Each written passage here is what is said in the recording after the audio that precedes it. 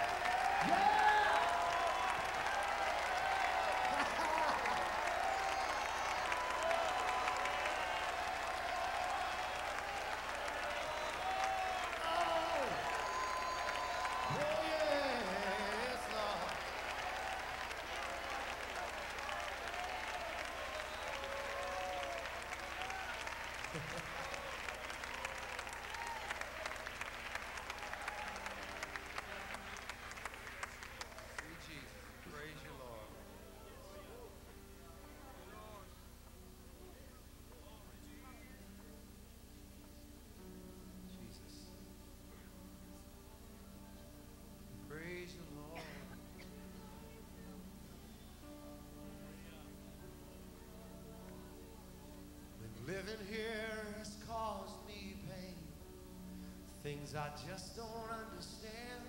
You ever felt that way? I must, I must recount your faithfulness and the mercy from your hand. Because when everything is said and done, and there's nothing left to say, the cross of Christ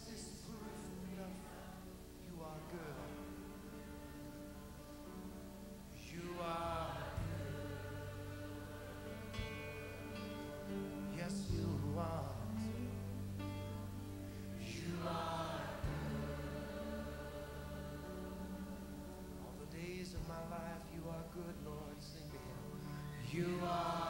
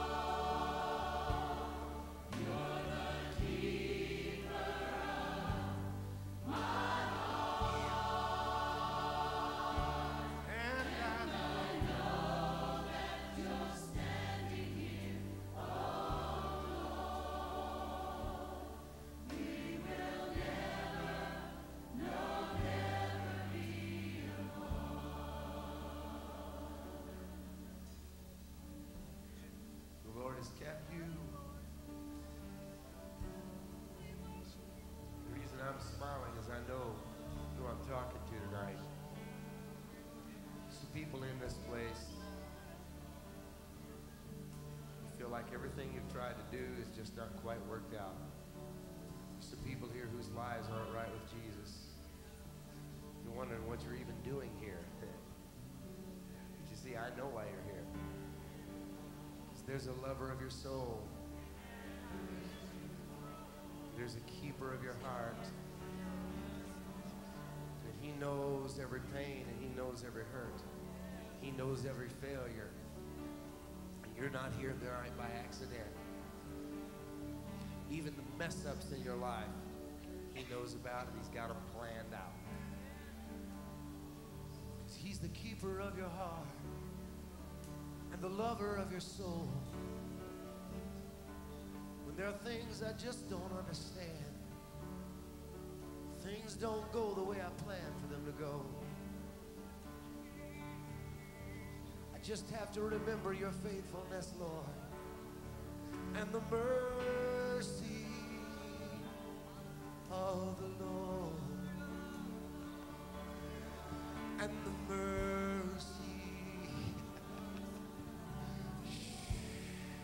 This is different tonight, but he's doing something now. The mercy of the Lord. Somebody needs to hear that the Lord has mercy. No matter how far you've gone, no matter how deep in sin you are, the mercy of the Lord is everlasting. And He's calling to you tonight. And you ask yourself, did I come to the right place? Why am I here? And the Lord says, because I planned you to be here. I ordained you to be here tonight. Because I want to pour out my mercy upon you. I want to pour out my mercy upon you.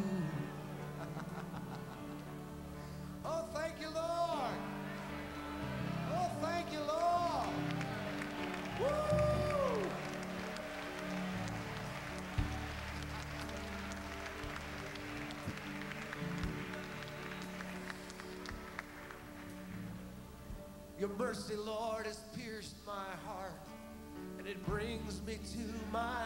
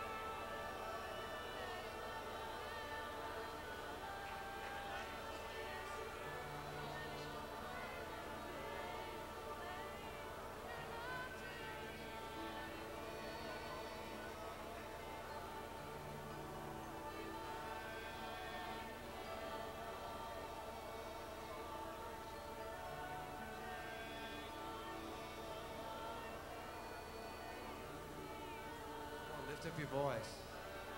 Lift up your voice. Go ahead. Sing to the Lord of the world. Sing to the God of the universe. The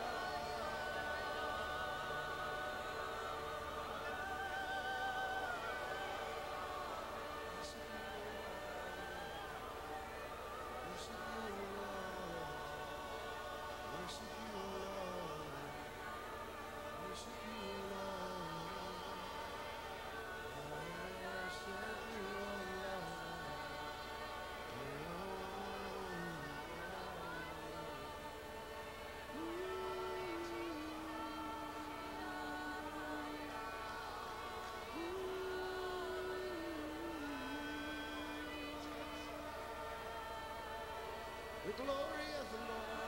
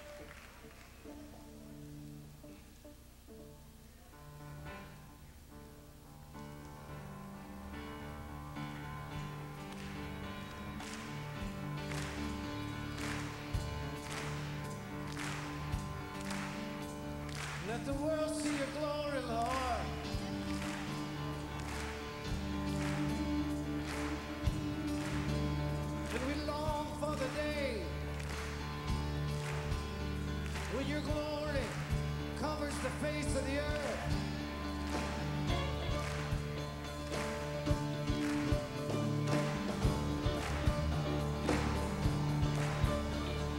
Oh,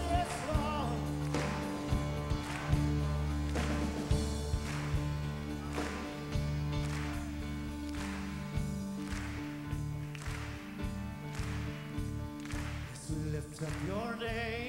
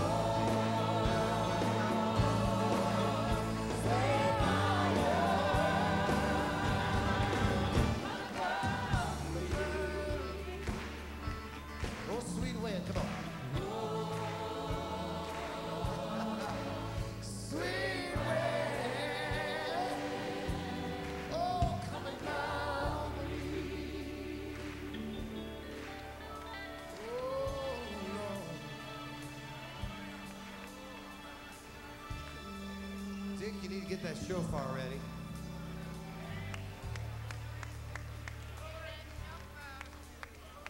You get that shofar out just a second. This is the strangest one we've done yet, I think. If you're a revival tonight for the first time, you go, I figured that revival out. They do that every night. Not exactly. The Spirit of the Lord, I don't know how to explain this to you, but as I'm leading these songs, I can't help but just feel my spirit bursting forth because it's like I can almost sense who's here.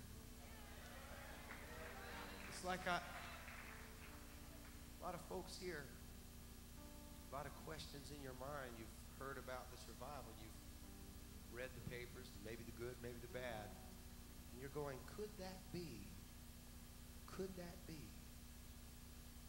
I believe the Spirit of the Lord is stirring your heart tonight to make you realize just how many landmarks you've left and just how many things that you've walked away from. When you used to believe your denomination, the affiliation you're with, used to believe in the power of God. But because there's so much sin, it doesn't happen anymore. And God is just saying to us tonight, I can still do everything.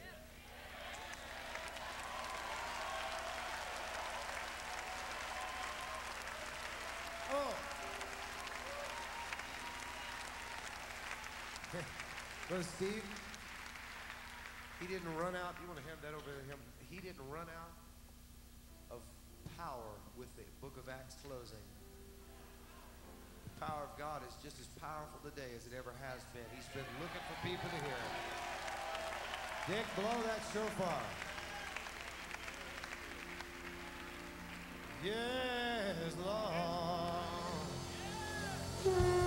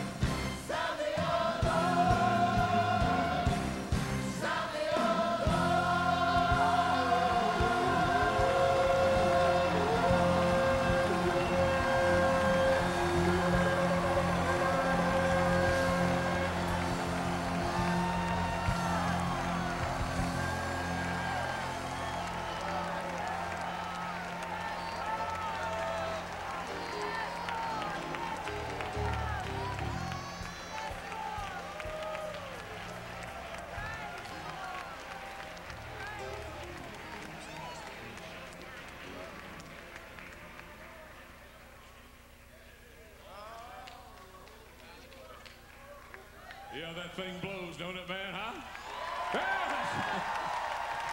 Amen.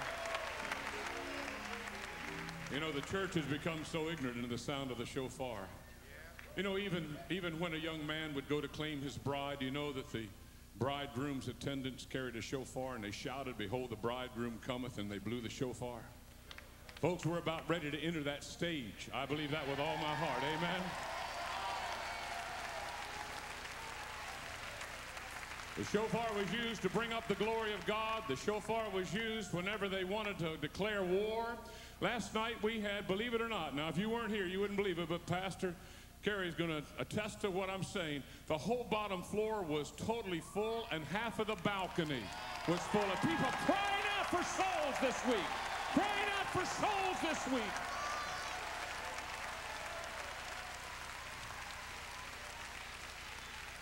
Something is something is happening in the spiritual realm. Now, last week I, it was incredible. The altar calls and the people that came to the Lord last week. It was just awesome and incredible. But folks, I believe this week's going to be a better week than it's ever been in a whole revival. Can you say Amen?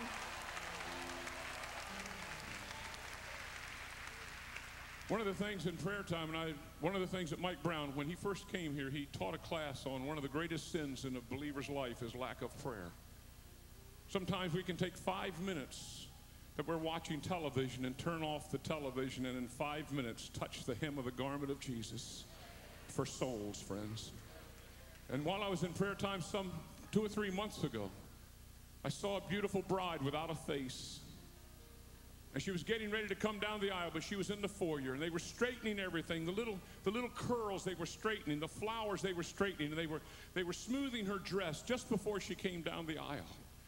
And friends, I'm going to tell you what, that's what's happening in so many lives in this revival. The little tiny wrinkles are being pressed out of the garment. Jesus is getting ready to come for his bride. Can you say amen? Act like a bride. You're cheerful. We're happy. We're the bride. We're the bride. We're the bride. Yes, Lord. Thank you, Lord. Thank you, Lord. Thank you, Lord. God bless you. As you're seated, we're going to we're going to do something very spiritual. We're going to take up an offering.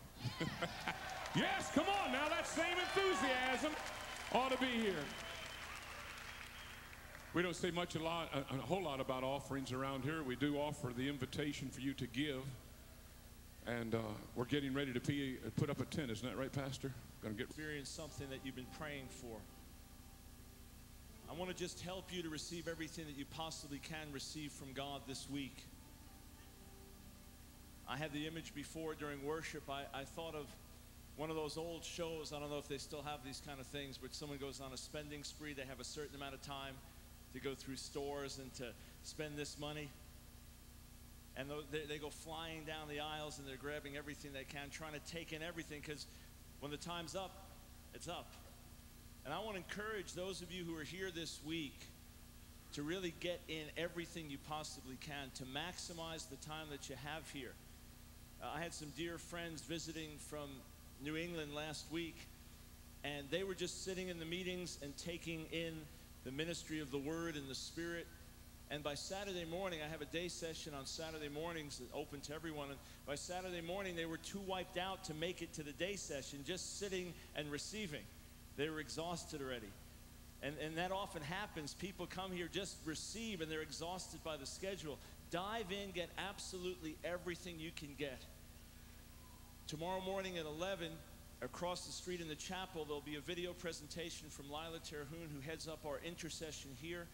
Uh, these presentations have been effective in person or on video, and I encourage you to get there if you're hungry for prayer, understand more about prayer and intercession, you should do that. Also, and we'll tell you about our Friday sessions tomorrow night, our, our session for leaders that I'll be teaching, and other sessions that we have uh, for leadership on Fridays. But I have an announcement from Richard Crisco, who's our youth pastor, who's over in the chapel. Uh, I understand that there are many young people that are here because of spring break. And if you're from junior high age up to college age, you have Richard's personal invitation to join the youth meeting at 7 o'clock across the street in the chapel. One of the greatest things about this revival is what God is doing among the young people. So, this is the first time Richard's ever asked me to specifically tell the young people, pack the chapel out tomorrow night and God will meet you. But I want to say something else, though, that, that could help you receive what God has for you. One of the problems that people have when they come into an environment where God is moving is that it's different. I'm not used to it. And we'll often have people checking things out for two or three or four days, and when they finally conclude it's really God, they have to get on the plane and fly home. You have to understand that revival, by its very definition, means something different. When we're praying for revival, we're not praying for more of the same. The same has been the problem. The same rut, the same coldness, the same lukewarmness, the same compromise, the same prayerlessness, the same flesh, the same dead religion. We don't need more of the same. So when we're praying, God send revival, we're asking Him for change, and change often comes differently than we expect. The reason that God often comes in the back door is because the front door is closed. You know, I was saved in a little Italian Pentecostal church in New York. I went there as a heroin shooting Jewish rock drummer to pull my two best friends out at the age of 16, and, and God saved me. Logical place, an Italian Pentecostal church with about 50 people in it. And, and somehow we thought that we had no traditions, that we went straight back to the Bible. And we didn't know that we also had our own little box that we had God in. And the pastor used to tell this story about a bum who was sitting out on a park bench across from a church on Christmas Eve. And he's sitting there in the snow. And suddenly Jesus appears to him. And this man is, this street person is sitting there crying. And Jesus appears to him and sits next to him and says, Son, what's the matter? And the bum says, Jesus, it was Christmas Eve, and I wanted to get into church. And I went to the door to go to church for the special Christmas Eve service, but they didn't like the way I was dressed and they wouldn't let me in. And Jesus says to him, Hey, don't cry. I've been trying to get into that church for 20 years. They won't let me in either.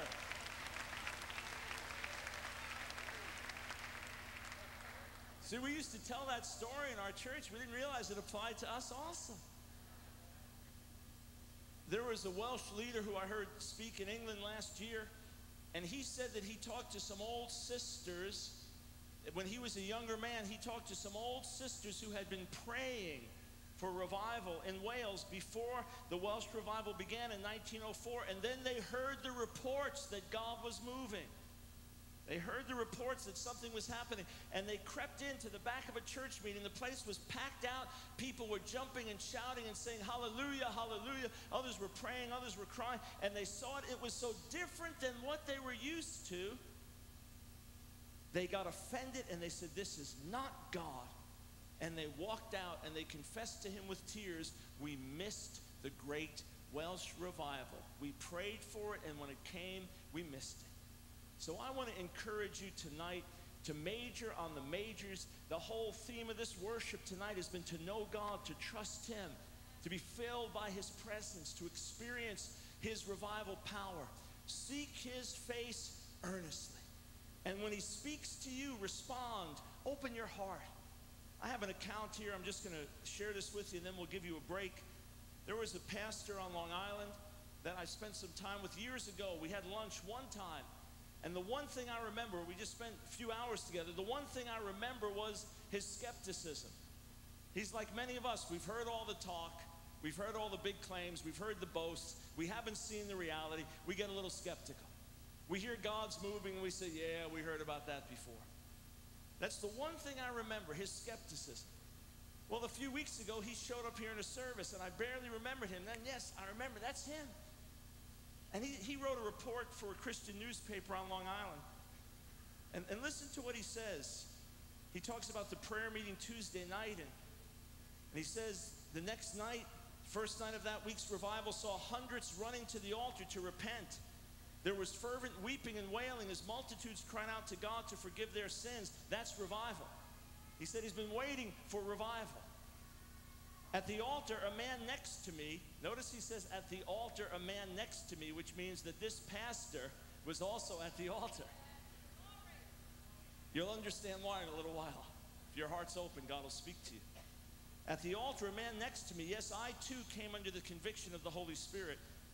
A man next to me was screaming at the top of his voice, Please, God, save me. I'm a fornicator. I'm an adulterer. I'm unfaithful to my wife.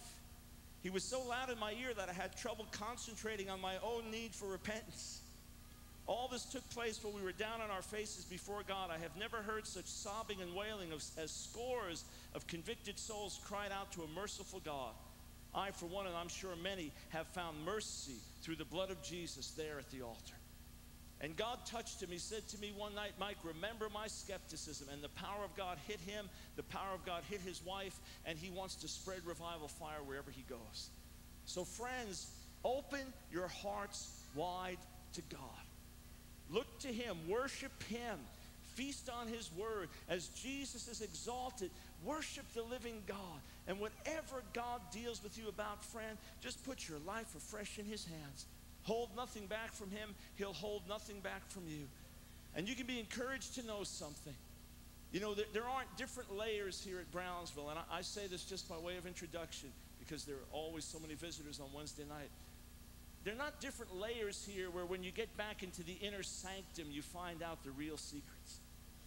We are exactly who we say we are. Two of the gentlemen that were ushers here tonight, two brothers right in the middle. One of them has been in this church, I think, 43 years, and the other's been in this church 48 years. This was a church just like many churches that you folks go to, hungry, thirsty for God, and God visited. Regular people who love Jesus, God visited, and that's all God has to work with. Regular people who love Jesus. There are no secrets, hidden tricks, mirrors. It's an encounter with God that we're after. So, friends, I want to encourage you the Lord will meet you powerfully this week. And according to the degree of your hunger for Him, He will satisfy your longing. Would you stand to your feet together with me? We're taking a short break. The, the facilities are packed here in some of the overflow rooms, the chapel. Don't go wandering around too far. When five minutes goes by, look at your watch, make sure you're back in here, all right? The Lord's going to then speak through His Word, so we'll take a short break. We welcome you. We bless you in the name of the Lord. Come back quickly, and the Lord will continue to move in our midst. You've been standing in line, some of you all day. In fact, all of you in here have been standing in line longer than anybody else. That's why you're in here and they're someplace else. But we welcome those of you in the chapel, those of you in the cafeteria, and uh, in the choir room, and in the prayer room, and in hallways, and wherever you're stuffed in. We have a full capacity tonight and over, and uh, we're glad you're here. I just want to say a word to those of you that are in the overflows. God's presence is going to be there and is there, and you, I'm sure you've already sensed that. And God is going to bless you tremendously before this service is over. The greatest part of the service is yet to come. May I have your attention, please? Thank you very much. I appreciate that. The greatest part of the service is yet to come. And uh, uh, in just a few moments, our evangelist is going to preach, and uh, he's going to give an altar call. And all of these chairs are going to be gone, and there are going to be people coming to this altar. You're going to see great things happen, and uh, you're going to see people's lives change. And it'll be the same in the other uh, overflow areas. And uh, God is just going to bless us tremendously before this service is open, uh, over. So keep your heart open to what God is going to do. Now, we, we've got people here from all over the world. We have people here from all kind of religious denominations. One of the great things about this revival is that the walls are partition that have separated us uh, religiously. Those walls are coming down. That's what religion does.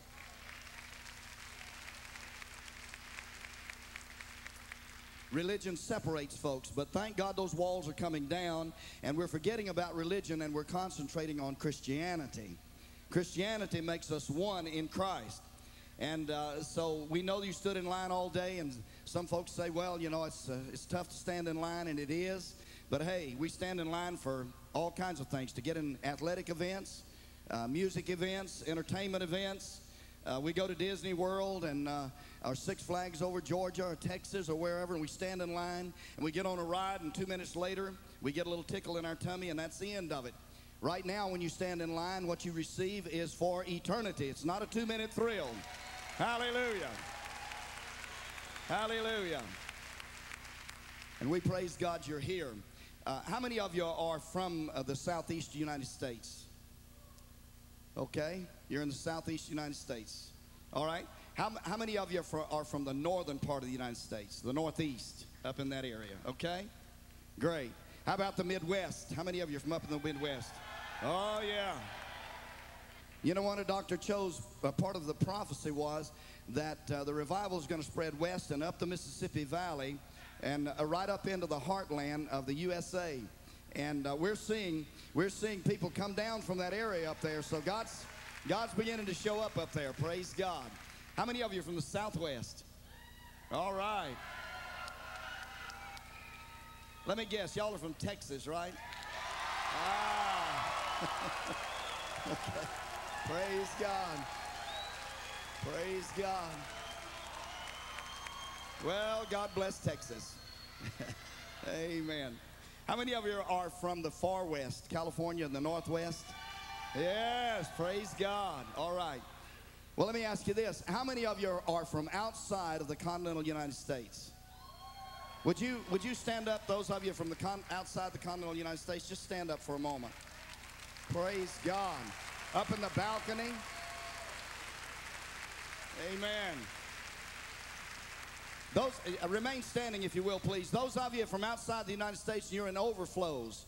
Uh, there, there are some there are staff people in those overflows, so you, they're going to identify you to uh, the people that are there. But let's find out where folks are from. Where are you folks from?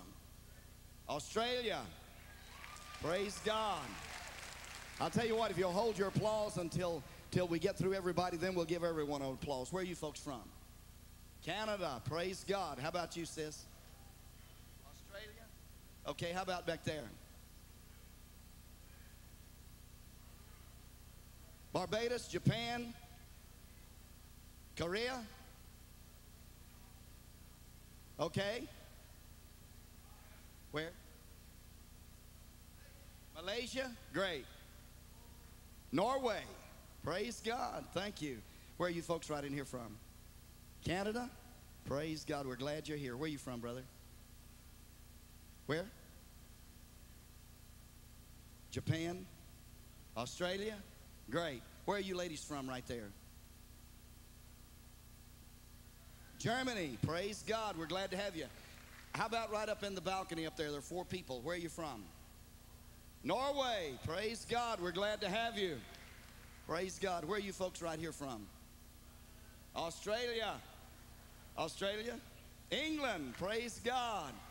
All right. How about these folks right back here? Norway. Norway. Man, we've got a lot of people. Do you folks know one another from Norway? All right, there are four people up there, and there are some folks right down here from Norway. Y'all need to get together. You had to come all the way to the United States to meet one another. You had brothers and sisters that you didn't even know about. Part of the family's here. All right? Where are you folks from right there? Canada? God bless you. The three ladies right there. England. Praise God. The couple. Where? England? Great. South Africa. Praise God. Where are you from, brother? South Africa. God bless you. Amen. Finland. All right. Praise God. Let's get it right. Okay. Where, where are you from right here? Japan. God bless you. We're getting a lot of people from Japan, and we're thrilled about that. God's going to come there into that country. Right here, brother. I know. India. Yes, so good to see you. God bless you. Right behind him. England. God bless you, sir. Australia. Ireland. Sir. Scotland. Praise God. Germany. Praise God. Where is, uh, where is that group right there? Where, where are you from? All right. God bless you. How about this couple right here? Thailand, yes. Praise God. Praise God. We're so happy to have you here. We want you to be blessed. We're praying for your countries. When we first started in this revival, it was sort of a local thing, and then it became a regional thing. Is there someone else up there?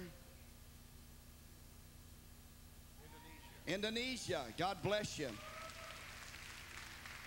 Then it became a regional thing. Then it became a, uh, a thing uh, with the United States, and now we're seeing people come from all over the world, and we welcome you here. Wherever you're from, God loves you and has a plan for your life, and God is going to bless you tremendously. Stand with us now as Lindell leads us in worship again.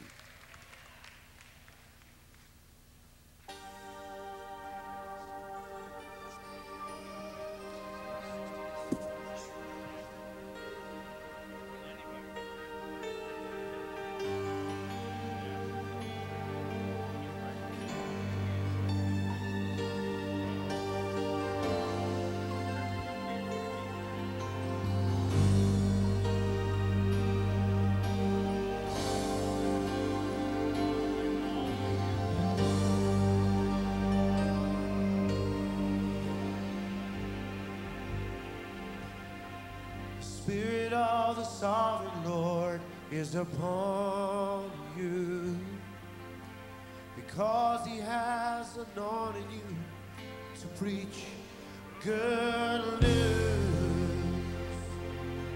Oh, the Spirit of the sovereign Lord is upon you because he has anointed you to preach good news. Has sent you to the poor. This is the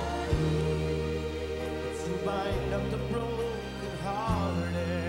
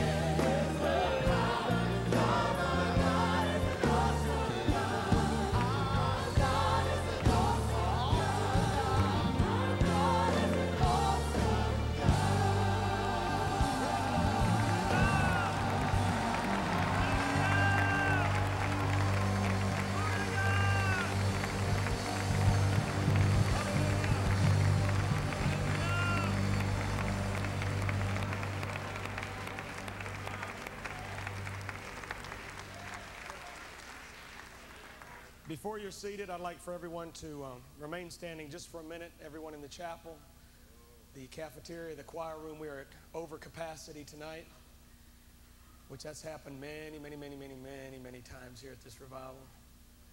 And um, it really doesn't matter how many people come, God meets everybody. And so it doesn't make any difference if you're in the choir room. I remember one night I walked in and and there's this girl, uh, there's been times that we have to project the revival meetings on the wall in the hallways. And because there's no room in any of the buildings, and so people sit on the floor in the hallways and watch the revival on the wall.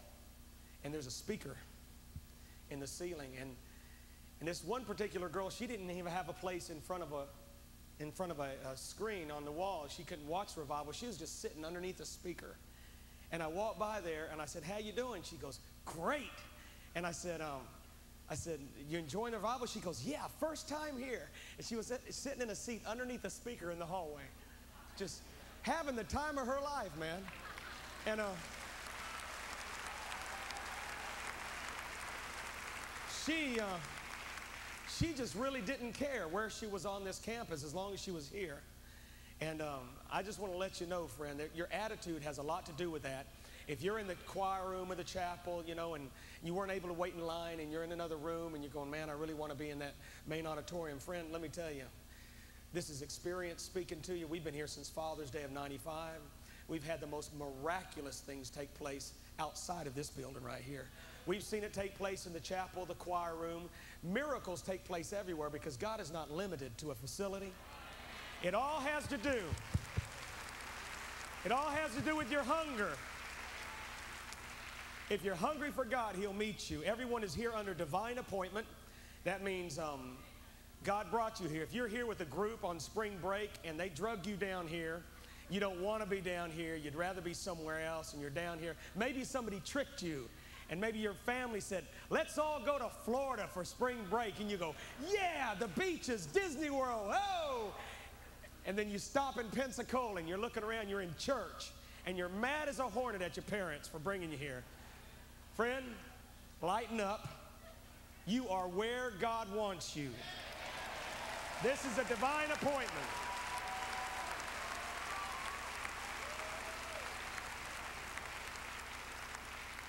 You're supposed to be here. Everyone is supposed to be here. Those of you from Japan, this is a divine appointment. From Norway, this is a divine appointment. This is when you are supposed to be here. God is also going to speak to you tonight. He knows how to prepare the heart for the message and the message for the heart. I want you to be ready to receive from the Lord. In just a few minutes, Charity is going to sing Run to the Mercy Seat. And many of you are going to get right with God, those of you that are away from the Lord. I want everyone us to pray right now. Everyone in all the facilities, before you sit down, I want to pray with me right now. We're going to pray that Jesus Christ would speak to our lives, speak to our hearts, and change our lives. Everyone pray with me right now. Dear Jesus, speak to my heart, change my life. In your precious name. Amen. You may be seated. Now, there's some people that did not pray that. I want everyone to look this way. In the other rooms also. There's people that did not pray that. And the reason you did not pray that is because you're rebellious. That's what you are. You're rebellious. And you're not only, now I want you to listen. There's a father in this room that did not pray that prayer just then. Dear Jesus, speak to my heart, change my life. You did not pray that. You didn't want to pray that prayer because you're stubborn and rebellious. But you're dealing with children in your own household that are just like you. You want them to be you want them to yield to you and be obedient to you, but you won't even pray a simple prayer. See, they're becoming just like you. And the Lord's speaking to you right now, sir. He's telling you it's time for you to change. It's time for you to yield and say, Lord, speak to my heart. Change me. I'm a stubborn man. I'm a rebellious man. It's, you know, it's, it's, it's quite hypocritical to, to want your kids to change if you won't change. We've had so many stories of young lives being changed and, you know, parents that were religious, they've been in the church all their lives, and their kids come to this revival. Their teens come to the revival and get radically changed. Radically changed. And the kids come home and they see hypocrisy in the home. They, they come home and they'll come home from a revival meeting, and dad will be at home watching some R rated movie on HBO. And the kids will go, Daddy, you know, you can't do that and teach Sunday school too. You can't do that. And we'll have parents at times go, Who do you think you are? This is my house. I can do what I want. And who are you to speak to me? That's rebellion, sir. That's rebellion. You need to let the Lord speak to your child, speak through your child. I had one mother come up to me and thank God for this revival. She said, she said, My daughter has so changed. We would watch soap operas together. We would do things together what we weren't supposed to do. And she got saved in your revival. Came back home and cleaned house. And I was watching television. One of the programs we always watch together, she said. My daughter came in. She goes, Mama, we need to talk about that. Daughter turned off the television, sat her mama down, and said, Honey, this thing's got to go. It's holiness, friend. Without holiness, no one will see the Lord. Hallelujah. Let me speak just for a minute to those of you that are backslidden in this room. I'm going to cover this at the beginning of the message. Listen in the chapel, choir room, cafeteria. I want everyone to listen. We're dealing with a nation right now that is in extreme danger. A lot of people think they're saved and they're not. A lot of people say they they love the Lord, but they don't. Let me ask you a question. If somehow, supernaturally, right now it would be supernatural, but in the future it's going to be possible with the technology. If somehow we could fit everyone in all these buildings, several thousand people in an airplane, just a jumbo, jumbo jet, a Boeing jet, and just take to the sky and head towards California, we're all on the plane together and we're cruising at 40,000 feet, and the right engine cuts out and everyone feels it. You can feel the plane just back up a little bit and it cuts out, and then, then the left one cuts out. And the plane begins to wobble a little bit in midair, and then you just feel it start to drop, and then it turns its nose down and starts just hurtling towards earth. And it's screaming towards judgment. And of course, everyone in the plane is freaked totally because we all know we're going to die. Everyone knows. In a situation like that, if that should happen tonight, would you repent? or would you worship? If you were in a situation like that tonight, would you go, Dear God, these, but the pornography, the lust in my heart, Lord, get rid of it? Or would you go, Jesus, into thy hands I commit my spirit? What would you do, friend? Now, a lot of us in this room would say, Into thy hands, Lord, because we're clean. We're clean before the Lord. That's not a holier than thou statement, friend. It's just that you can get clean in Jesus. You can live clean. How many believe that? You can live holy. But others in this room would say, No, I'd have to repent. I want to tell you why you're saying you'd have to repent because you're backslid or you've never known the Lord. Some of the symptoms of a backslider are you have lost your spiritual appetite. A backslider has lost his spiritual appetite. Do you remember, backslider? Maybe a young person in this room. Maybe it was back in, during a youth camp you got on fire for God. And you're just blazing a trail all summer long, and, and all you did was Jesus, Jesus, Jesus. Everything was God. And then schools rolled around. And you got into school and you met some of your unconverted friends, and you started growing a little cold. And boy, during the summer, you were toting your Bible. You're bringing it everywhere. You'd go to the mall witnessing, you're talking to everybody about Jesus. And now school started, and you put away your big Bible, you bring a little New Testament, and you tuck it away in your purse, or you hide it in your locker. And uh, you remember, backslider, a time in your life where you were so excited about the things of God. Your appetite was unquenchable. Pastors, you know what I'm talking about. You get young people or uh, folks get saved in your church on a Sunday, and next, the next Monday they're at the doorstep. What, they want more. They want to talk to you about Jesus. They just, you just stick any book in front of them. They'll just sit in the, in the foyer, just read the whole book, you know, just, they're hungry. How many have met people like that? Well, a backslider can remember back when he was on fire like that. But now you've lost your spiritual appetite. You've grown cold. These are signs of a backslidden condition. Another sure sign of a backslidden condition is this you've grown worldly in your actions and desires. Do you remember a time when all you desired was God's will? You were consumed with Jesus and His plan for your life. That's all you wanted, but now you're backslidden. You've grown cold. And so you're more worldly in your actions and desires. I can tell a person when he's backslid in five minutes. And it's not judgmental, friend. You can tell what comes out of his mouth, what he thinks about, what he's talking about. That's who he is. And so, friend, if that's you and, and you'd rather talk about Florida State football than Jesus, you'd rather talk about golf scores, you'd rather talk about shopping, you'd rather talk about family than Jesus, you're backslid, friend. You're backslid. As soon as somebody brings up Jesus, you're uncomfortable. Why? You're not right with God. You've grown worldly in your actions and desires. Now, some of you aren't even looking at me anymore. You liked me a few minutes ago, but now you don't like me no more. I don't understand that. I still like you. Another sure sign of a backslidden person is this you have become less troubled about sin. Do you remember back when the little things used to bother you? You fell under conviction easily and repented. Now, those little foxes have slipped in and are destroying the vineyard, destroying your life. But they don't bother you anymore. Do you remember a time, backslider, when you'd sit in front of a TV set and if something came on had curse words in it or a woman walked across the screen and became, began taking her clothes off, you would be shocked. You'd turn the television off and you'd say, Abomination! I can't believe they're showing that on television. And you'd feel grieved in your spirit and you'd walk around the room saying, Wash me, Jesus. Cleanse me from all that filth. But now you're backslidden. It doesn't bother you anymore. As a matter of fact, you can sit right through that scene, the same scene that one time you'd get up grieved over.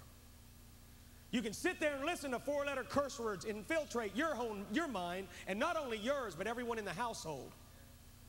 Your little kids that are playing in the, in the playroom in the back are listening to those four letter words, sir. Ma'am, they're listening. They hear that. They're reverberating off the walls into the room. Don't be surprised when little Junior comes up and starts cussing. But you're backslidden, friend. Jesus would never do stuff like that. He would never sit down and watch that, and you know he wouldn't. Sure sign of a backslider. Let me give you a simple illustration. You're in Walmart and you're checking out and you look over at the magazines and there's Cosmopolitan, some of the other uh, magazines, just your glamour girl magazines, and you, you look at them, they're always seductive. They're always, always lewd, and you, you look over and you see a girl, a woman half dressed on the magazine. Do you turn your head or do you stare at her, sir? If you stare at her, you're backslid. Because a person on fire for Jesus would immediately turn his head. Why? Because that grieves the Holy Ghost. And it causes fantasies to develop, develop inside of you, friend, and you wonder why you don't have the victory. See, I want to tell you why, friend. This is spiritual warfare. And you're out there praying and trying to bombard heaven, and the devil's looking at you and you go, You just a few minutes ago lusted your eyes out over this one woman, and now you're praying for your son. Ha ha ha. Double minded man, you're unstable in all your ways. Friend, listen, this is serious. America's waking up. We're realizing why we're not where we, why, why we're not changing the nation. We want a nation to be like the church, dear God. No, church needs change. Church needs to be on fire. I'm, t- I'm speaking to the backsliders. Now, there are many of you in this room that don't know the Lord. You're away from God completely. You've never known God. And uh, in just a few minutes, I'm going to give you the opportunity to get saved, give your heart to Jesus. It's simple. You trust in Him. You come to the cross. Jesus bled and died 2,000 years ago for you, friend. Most Americans have heard it 5,000 different ways. They've heard it through cantatas. They've read about it on tracks. They've read it. There's, we've got Christian comic books. I mean, you name it. We've even got major Hollywood productions that talk about Jesus to make money. You heard it, friend, heard the gospel story. But you're here tonight, maybe you're a Muslim or a Jew, or maybe you're from a cult, or maybe you're a group of witches visiting from New Orleans. We know that you come all the time, and you're here to check this thing out. Let me tell you something. Jesus Christ is the one who spoke this whole thing into existence. And some of you are stargazers. You worship the stars. The one who is in this room and on this campus, he's the one who flung the stars out there. Why worship the stars? Why not worship the creator of the stars? And those of you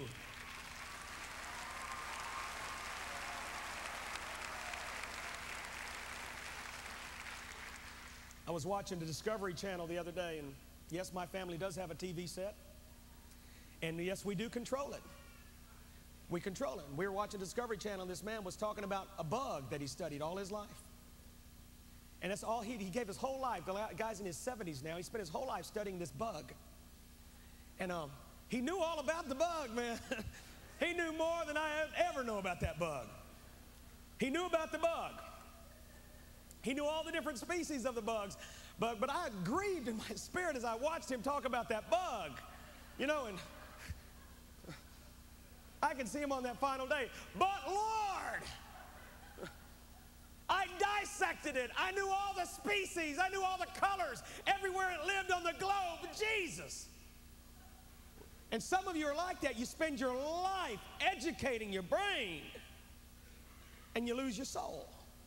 You learn the butterfly and the intricate details of the butterfly, but you never meet the one who made the butterfly. Or maybe you're a tarot card reader. You're into the, the, the psychic arts or in the 1 900 psychic channels and, and, and maybe you'll go and sit down. I remember, you know, in New Orleans, they'll have, in the outside, they have all these plazas. They do all over the world, but they have these little plazas and all these gurus sit out there with all the cards. And, and I look at that and I go, my God made the trees where they got the paper to make the cards.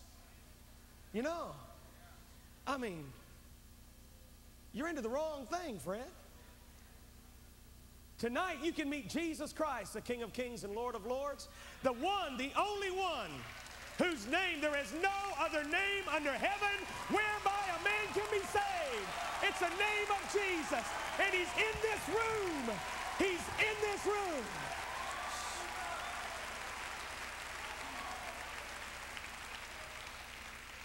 You can meet the Lord and you can leave out of here with the Lord. It's a mystery. Well, tonight I'm going to be speaking as the second part of a message I started last week, and I rarely do this, but God will not let me go on this. This is the God seekers. The God seekers. There's something happening right now, friend, in America, really all over the world. People are hungry for truth. Amos said it in the words. You read the book of Amos, he was a minor prophet. But you'll read where he said this that there's coming a famine in the land, not a famine for food or for water, but for truth. And people are going to wander to and fro throughout the whole earth. They're going to be groping, looking. They're not going to be able to find it, friend. They're going to be starving for the truth. And I've preached on famine in the land before, friend. People are hungry for the truth. They're sick and tired of religion. Religion's hanging around the cross. Christianity's getting on the cross. People are sick and tired of religion. A Baptist pastor called me the other day from up north, and he said that very thing. He said, I am so tired. He said, I've got a large church. I'm so sick and tired of day in, day out church. He said, Steve, can I be honest with you? I'm sick of my people. They're backslid. They don't know God. He was just pouring it out to me over the phone, and I knew exactly where it's coming from. I'm tired of preaching to them, and I have thousands of members. I'm tired of it, Steve. I want change. I want revival. I want to affect our city.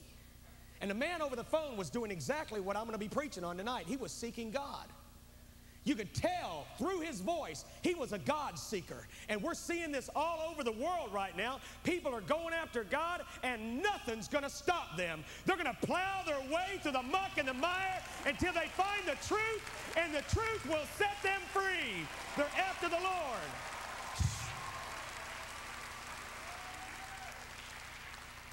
Well, I'm going to give you a couple scriptures. Those of you taking notes, you write these down in the chapel, all over the building. If you're not taking notes, whatever.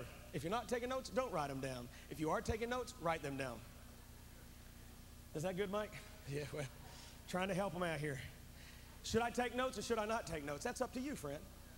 I can't help you on that. i will try to go slow, but if I go too fast, I go too fast.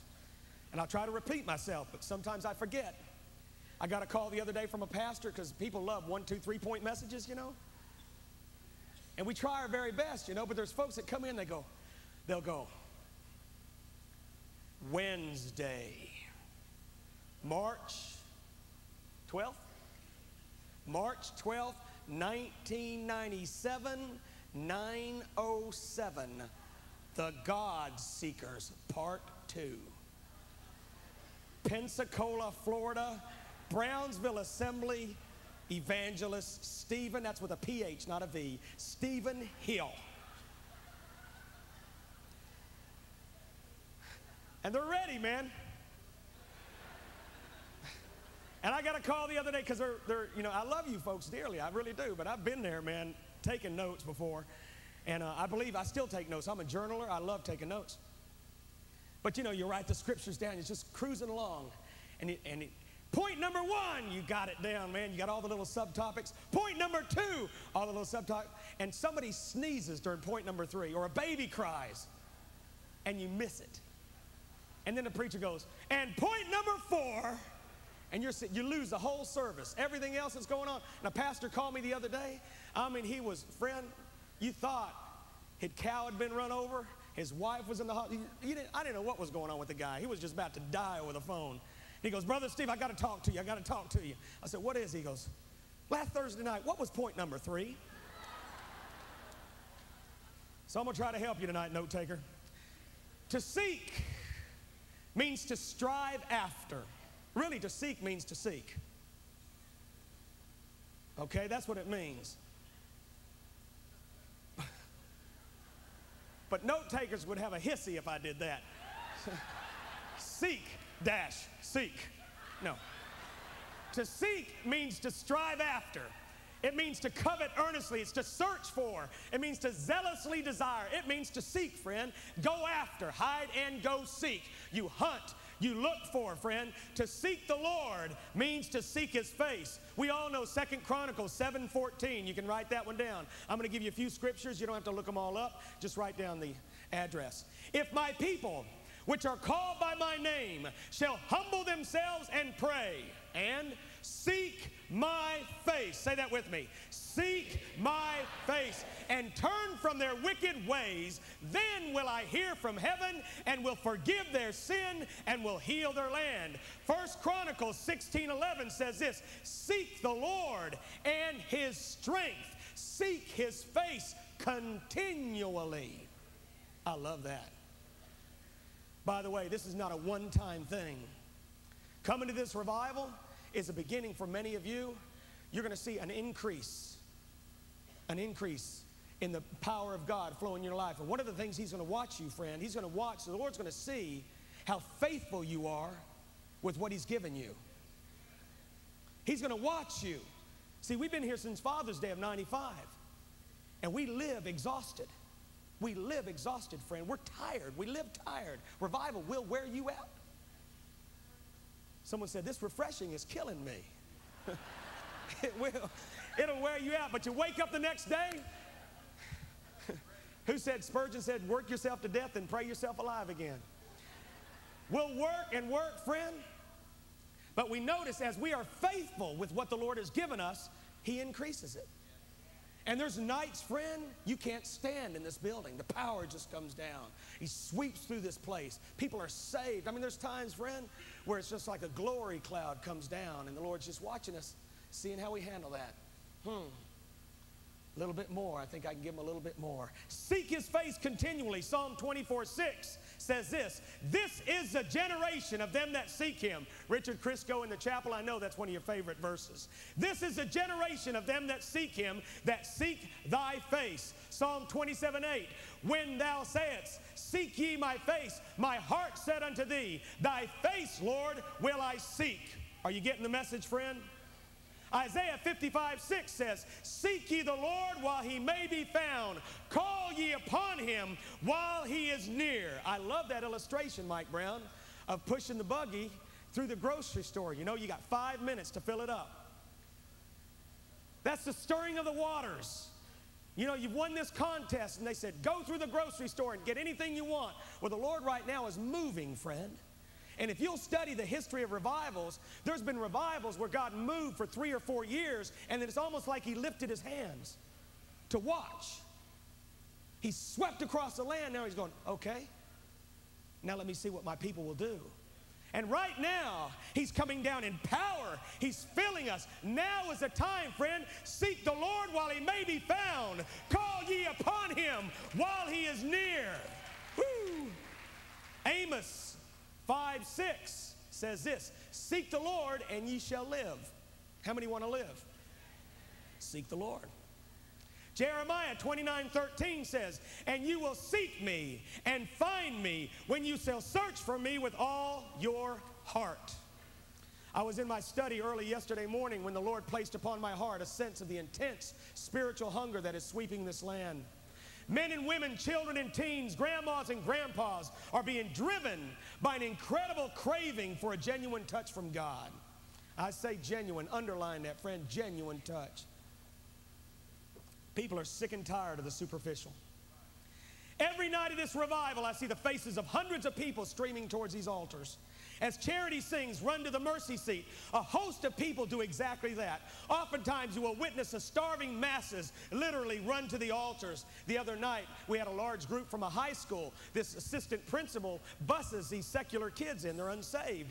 And he brings them here by the scores. And he brought them in here, and they came up to us before the service. The assistant principal said, I've got about 50 heathen with me tonight. Got, and so, uh, but it, they bring them here and they're saved. That, that, that, chur- that school has gone from six Christians, it's 2,300 students in the school. In, in about five months, they've gone to six on fire Christians up to almost 600 on fire. It's fabulous, friend. But I'll never forget that night because right before I was going to preach, we took, a, we took a break like we did tonight, and I was feeling in my spirit that some of the kids were getting antsy. You know, they didn't know the Lord. They were sitting there, you know, should I go to Burger King, Water, Whataburger, you know, Shoney's right now? What should I do? I don't know about this break. I've been in church an hour already. Is that enough? You know, and they didn't know what was going on. So I stood before the break and I said this Some of you are so far away from God. His spirit is trying to get a hold of you. He wants to change your life. And I spoke a few words into their hearts before the break. And then I walked over here like I always do just to greet people. We took the break, and these people started running up to me, crying their eyes out. I got to get saved now. I said, Well, in just a minute, man. We're to have an altar call in just a minute. No, I want to get saved now. I'm living in sin. And I go, Okay, buddy, all right, just a second. I turned around, some lady standing there. I got to give my heart to Jesus now. I've got to give, friend, I've never seen anything like this in my life. What is it? Called hunger. People are starving for the truth. They want a touch from God, and nothing's going to stop them. They smell the fresh bread from heaven and can just about taste the sparkling, clean living water. All the demons of hell can't hold them back. Ooh. My goodness. The weeping and wailing at these altars, the repentance of sin, the crying out to God for forgiveness, the overwhelming desire that people have and that many of you have tonight to get right with God and live right with God is music in the Lord's ears. I want you to pay attention, friend. I want to talk to you about a group of people tonight. Some of you are not part of this group yet, but you're going to be a part. I learned a little saying uh, early in life, you know, you can lead a horse to water, but you can't make him drink. You ever heard that? You can make him drink, friend. You can salt his oats. And I mean, people coming to this revival, they ain't no more thirsty. They don't want nothing. They just come in and sit. Some of them come in to mock, make fun of us, to scorn us. And they'll sit there and they'll just be all satisfied in their sin. Before you know it, they're going, they're thirsty. And but you'll watch them, and at the beginning of the meeting, they were just sort of laughing and chuckling, you know, and just joking at everything. And now they're going, they're listening to every word, friend. Oh, I love it. I want to talk to you about a group of people, a spiritual race of people, if you will, that is beginning to rise up all over America and the world. This group of people are shaking the very foundation of our religious institutions. They are reading over the fundamental statements of faith of their specific denomination and calling out for a return to the faith of their fathers. You will find these people analyzing themselves and the religious world with probing questions such as this. If we believe that Jesus Christ shed his blood on Calvary to bring us back into relationship with God, then why do we depend so much on seven step programs to give us peace, joy, and happiness? People are asking these questions. The other night, I prayed with a, with a, a jock basketball player, I guess he was in the back there, stood about six and a half feet tall, big man, and uh, high school, college, I don't know what, but you could tell, man, he had it together, and he's just checking it out. Just watch it. Is at the end of the service, he's had his hands crossed like that, and I said, uh, "How you doing?" Fine. What do you think about all this? I ain't never seen anything like this in my life. What do you think's happening? I have no idea. And I asked, I asked him this question. I said, Do you believe in God? I don't know. And I said, If there is a God, do you think he's powerful? Of course. Of course he is. See, this is what people are asking now, friend. They're going, You're singing, All hail the power of Jesus' name. Where's the power? See, young people are waking up. They're watching mom and dad sing that in the church, and then they walk out and mom's cussing dad or dad's cussing mom. Or dad's hooked on this or mom's hooked on this. They're going, Where's the power? Where's the power? It's hypocritical, friend. And this guy stood there. And I said, Do you believe that if God exists, that he's powerful? Yeah. Do you believe he can touch you? Then he got a little nervous because people were, people were flopping around on the floor all around him. And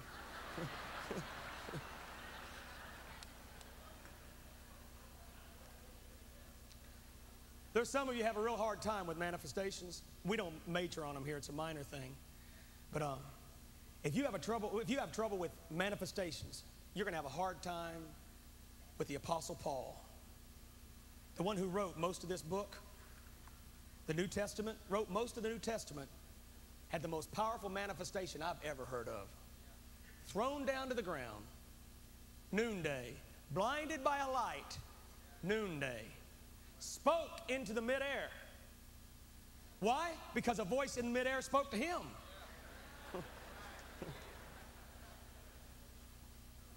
If that wasn't enough, he was blinded. This is the work of the Holy Ghost. You know the perfect gentleman you talk about? You know how the Holy Ghost is just a perfect gentleman? Saul of Tarsus would question that philosophy. Because he didn't send a forerunner up there saying, Saul, take this. And he reads and says, In two minutes, you will be stunned by a light from heaven. Whoa. No, friend, he was hit down to the ground, blinded the third day. Somebody prayed for him, and something like scales fell from his eyes. Think about that, friend. And you got a problem with this? you got. Somebody's somebody's leg shakes and you got a problem, friend. We could go on and on about this. That's why we don't park on manifestations. We don't spend any time with them here, friend. They happen, they happen. What we care about, you can shake all night long. You better be living right tomorrow. That's what matters. Paul could talk all day long about how the power came down. He was thrown to the ground, blinded, scales fell from his eyes. But the people were going, Yeah, all right. Are you living holy? Yeah, he was. Is there power in your life? I come to you with a demonstration of power. It's a whole different story. Anyway, this guy was just standing there, and I said, If God is real, do you think he could touch you? He goes, Well, yeah. This jock of a man, Charlie, you remember him, don't you, buddy? We've seen some stuff. Charlie walks around with me. We've seen some stuff, friend. I'm telling you, we see some stuff. That's the only word I have for it is just stuff, because things happen, man. People come in here, agnostics come in here, and they're thrown through the air by the power of God. I'm talking about God haters. God gets a hold of them instantly. You know, none of this three, four spiritual laws, you know, you know, Romans road to salvation type of thing. Wham, ooh, bam. Just, what must I do?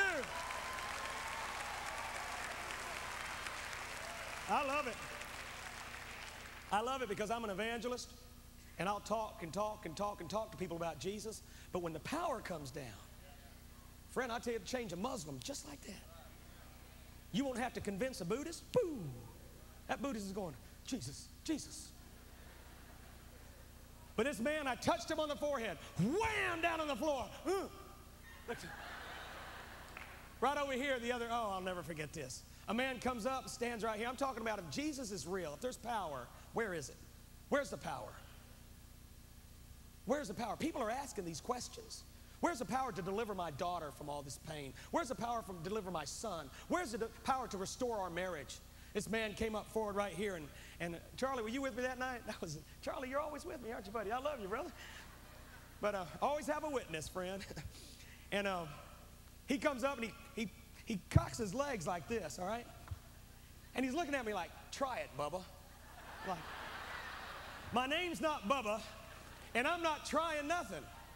Either God's going to move or He's not. And I touched his forehead, and he it was like lightning. It went wham down on the ground. He goes,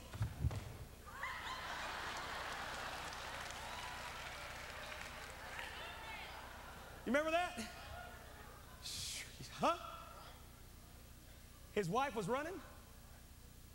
Oh, his wife was so scared she was ready to run, he said. I didn't see that part. But here's this, here's this powerful man, you know. He's, he ain't going to drop for nobody. But whoa! He dropped for the Holy Ghost. Then he gets back up.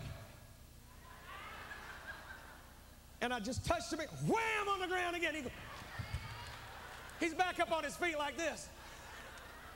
He's a glutton for punishment, friend. the third time. Some of you, I can feel the skeptics in this room. Some of you going, Dear God, what are you talking about? Friend, let me tell you. If God doesn't get a hold of this country, we're a bunch of snobs. We're stuck up, we're know it alls. You think God's going to get us again by just singing Amazing Grace? No, friend, we need to be hit by the power. You want fruit? Stick around for a while, friend. Thousands and thousands and thousands have been saved. You can hardly go anywhere in Pensacola without meeting people that have been dramatically transformed by the power of God in this revival. And a lot of it happened when the power came down in their lives. Anyway, the third time, touched him again. Wham! He's on the ground. And this time he's going uh, uh, on the ground.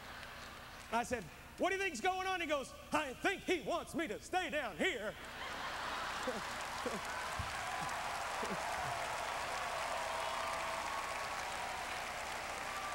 I think so.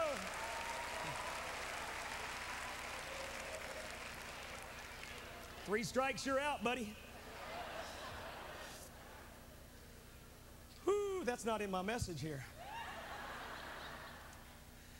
But people are asking if we believe that in the name of Jesus a man can be delivered from drug addiction, alcoholism, and a host of other life controlling problems, then why do we always lean on the secular world to solve these problems?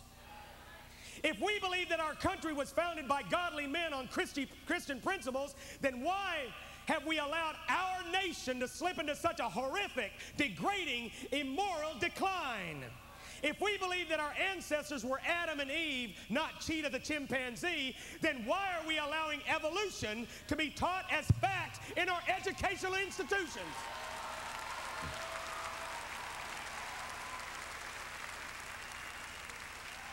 People are asking these questions. Did you know the latest Gallup poll that 93% of adult Americans believe in the creation, not in evolution? 93% of adult Americans, that's plus or minus 3%. That's a powerful Gallup poll. That means that a random phone survey, most of Americans are saying, we did not evolve, we were created. Yeah, it's powerful, friend. But the young people are rising up going, now wait a minute. If my mommy and my daddy believe that we were created, and my neighbors believe we're created, and my neighbors' neighbors believe we're created, what are they teaching this junk in school for? Where did the other 7% of an American adults get all that power? People are getting tired of it, friend. They're getting tired of it. If 80% of adult Americans believe they will stand before God, and this is a true statistic, 80% believe they will stand before God and be held accountable for their sins up there, then why don't we feel the weight of accountability down here? If 84% of adult Americans believe that Jesus Christ is God or the Son of God, that's another true statistic, 84% believe he is God or the Son of God, then how come we're allowing every other teaching to permeate and take control of our country? I'm telling you, friend, there's a group of people that's fed up. They are waking up.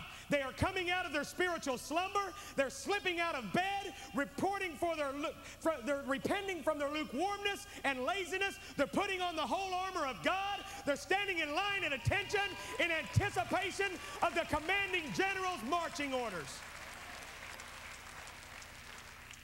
This group of people is beginning to call in question everything that seems to exalt itself above Christ. Whether it be an obvious sinful habit like smoking, drinking, drugs, or pornography, or a recreation that consumes more time than it should, like golf, fishing, sports, or hot rodding, or whether it be a religious part, piety without a personal relationship with God. Friends, those of you that are religious in this place but you don't know the Lord, you're as bad off as a junkie on the street. Worse off because you think you're okay. You're worse off. You're religious, but you don't know Jesus, friend. People are getting sick of all of this. They're dealing with sin and the devil. They're dragging them both into court. They're throwing the book at them and then following through with the death sentence. It's time, friend. The God seekers, I'm just going to give you a couple points and we're going to close. Matter of fact, everybody look at their watch. Get it over with.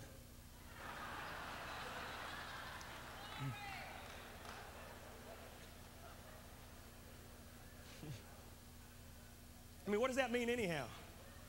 Some of you going, let's see, I'm from Australia. Where would I be right now? If I was back home in Sacramento, what would I be doing? What does it matter? Besides that, a watch here is just a decoration. Doesn't mean a thing. The God seekers, note takers, I want you to write these down and we're going to go through quickly, okay? The God seekers, number one, the God seeker, if you say you're a God seeker, that means you're going after God.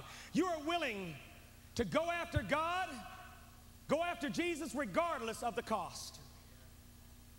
Regardless of the cost, listen up in the chapel, the choir room, the cafeteria, and those of you in the hallways. The God seeker is willing to go after Jesus regardless of the cost. You've heard me say, those of you that visit this revival, a man's desperation for the presence of God will melt all preoccupation with self, notoriety, public image, and social status. Young people, look at me. We got a host of young people here tonight. If you're really after God, you could care less about what your friends think. You'll walk down the hallways of school with, with Turn or Burn t shirts on. You'll walk with a big old Bible. You don't care what people think. It doesn't matter what people think anymore. You're after God. That's all that matters. Your hunger and your thirst, if it's genuine, will drive you to eat and to drink, regardless of the opinions of others. You will be willing to be a fool in the sight of your peers in order to be embraced in the arms of the Lord. That's what a God seeker will do, friend. A God seeker is willing to go after Jesus regardless of the cost. Peter said, Behold, this is in Matthew 19, Behold, we have forsaken all and followed thee. Some of you cannot say that. But a God seeker can say that along with Peter. We've given up everything to follow you, Jesus.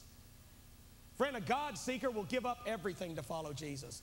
Popularity, young people, fame, I remember a young man that came to me and he said, I can't understand it. My dad, my dad just, he just keeps coming after me and coming after me. I said, What are you talking about? He said, My dad's offered me a, a six figure salary. For some of you that don't understand, that's over $100,000. A new car, a house. I'm 18. If I will stay with the company business, everything. He'll give me everything up front, he said, if I will stay with the company business. My dad's very successful, Steve. he goes, But daddy doesn't understand. God's called me to preach the gospel.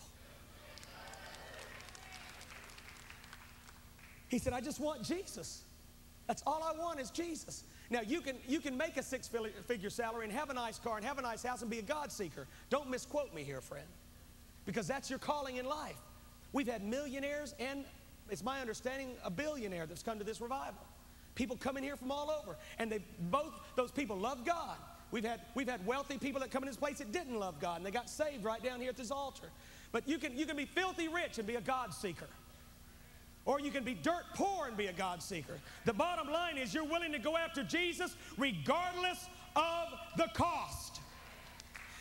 Peter said in Matthew 19, We have forsaken all and followed thee. Jesus said, And everyone that has forsaken houses, or brethren, or sisters, or father, or mother, or wife, or children, or lands, for my name's sake, shall receive an hundredfold and shall inherit everlasting life. Friend, are you a God seeker?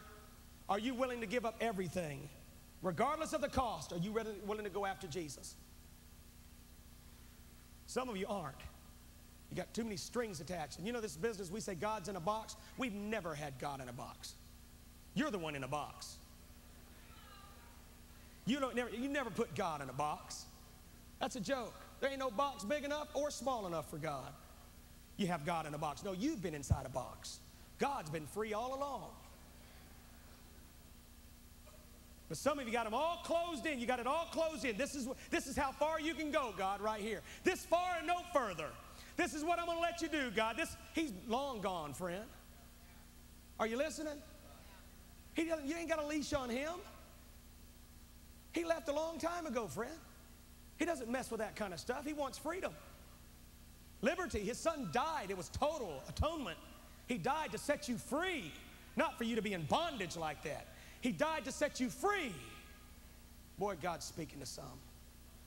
Mm, let him do that. Number two, the God seeker will go after Jesus regardless of how painful the present circumstances. I don't understand that one, Brother Steve. Write it down first. The God seeker will go after Jesus regardless of how painful the present circumstances. No matter how hard things are, friend, a person that wants God will move forward. But I've got cancer, move forward. I'm going through a financial disaster right now with my business and my life. Go after God. That's when you go after God, friend. Go after God. A God seeker will go after God no matter how painful the circumstances. Look at the woman with the issue of blood in Mark chapter 5. Here was a woman, friend, who was sick for 12 years, had spent all her money. She was wiped out, and the Bible said her sickness was worse than ever before in her present circumstances. A God seeker will go after God no matter how painful it is. They will go after Jesus. And that woman got up out of her bed and she spread a trail of blood across that pavement, friend, all the way to Jesus. She found her miracle. She went after God in her condition. Are you a God seeker? Are you going to wait for everything to get better and then you might go after God? It don't work like that, friend. We always quote the thief on the cross, and everybody says, well, he got saved. Wasn't that wonderful? The thief on the cross was crucified. He was bleeding when he got saved. Have you ever thought about what he was feeling when he asked Jesus, Lord, remember me when you enter into your kingdom? A God seeker will go after God. Something clicked in that thief's mind. The Bible says in Matthew that both the thieves were mocking, and then in Luke it says that one of them got saved. I'm going to tell you, he got saved, friend, probably by hearing Jesus say these words Father, forgive them. They know not what they do. And when Jesus said those words, I can imagine that thief, his heart just sinking and going, Dear God, what have I done? Turn to his friend across the, the, on the other cross and say, This man's not worthy of death. We're worthy. We're supposed to die. We have committed crimes, but this man is, is not guilty. Said, Jesus, remember me. In the middle of his pain, a God seeker friend will go after God regardless of how painful the present circumstances. Some of you, the present circumstances is this you're in sin right now. Are you listening? Richard, I hope they're listening in the chapel. Your present circumstances is sin, and it's painful. It might be an adulterous affair. And the most painful thing for you to do is to confess it. Or maybe it's a drug problem or pornography problem. And the most painful thing for you to do is to come to these altars tonight and get right with God. You're in the middle of the pain. Well, friend, that's what a God seeker does. That's when he gets healing, is when he goes after God in the midst of his pain. Is anybody listening? I hope so, friend. A God seeker, number three, note taker.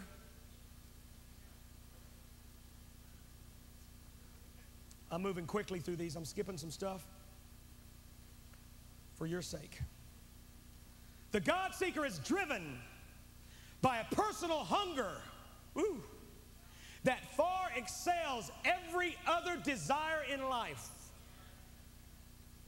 A God seeker is driven by a personal hunger that far excels every other desire in life. I used tonight an illustration by the, uh, the, the man named Zacchaeus. Remember Zacchaeus when he was up in the sycamore tree? Remember how Jesus said, Zacchaeus, come down, and Jesus went into his house? This is found in Luke 19. You can look it up later. But Zacchaeus wanted Jesus.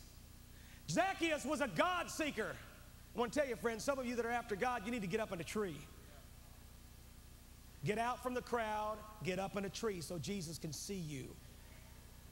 Jesus saw Zacchaeus because he was elevated up in that tree. He made a move.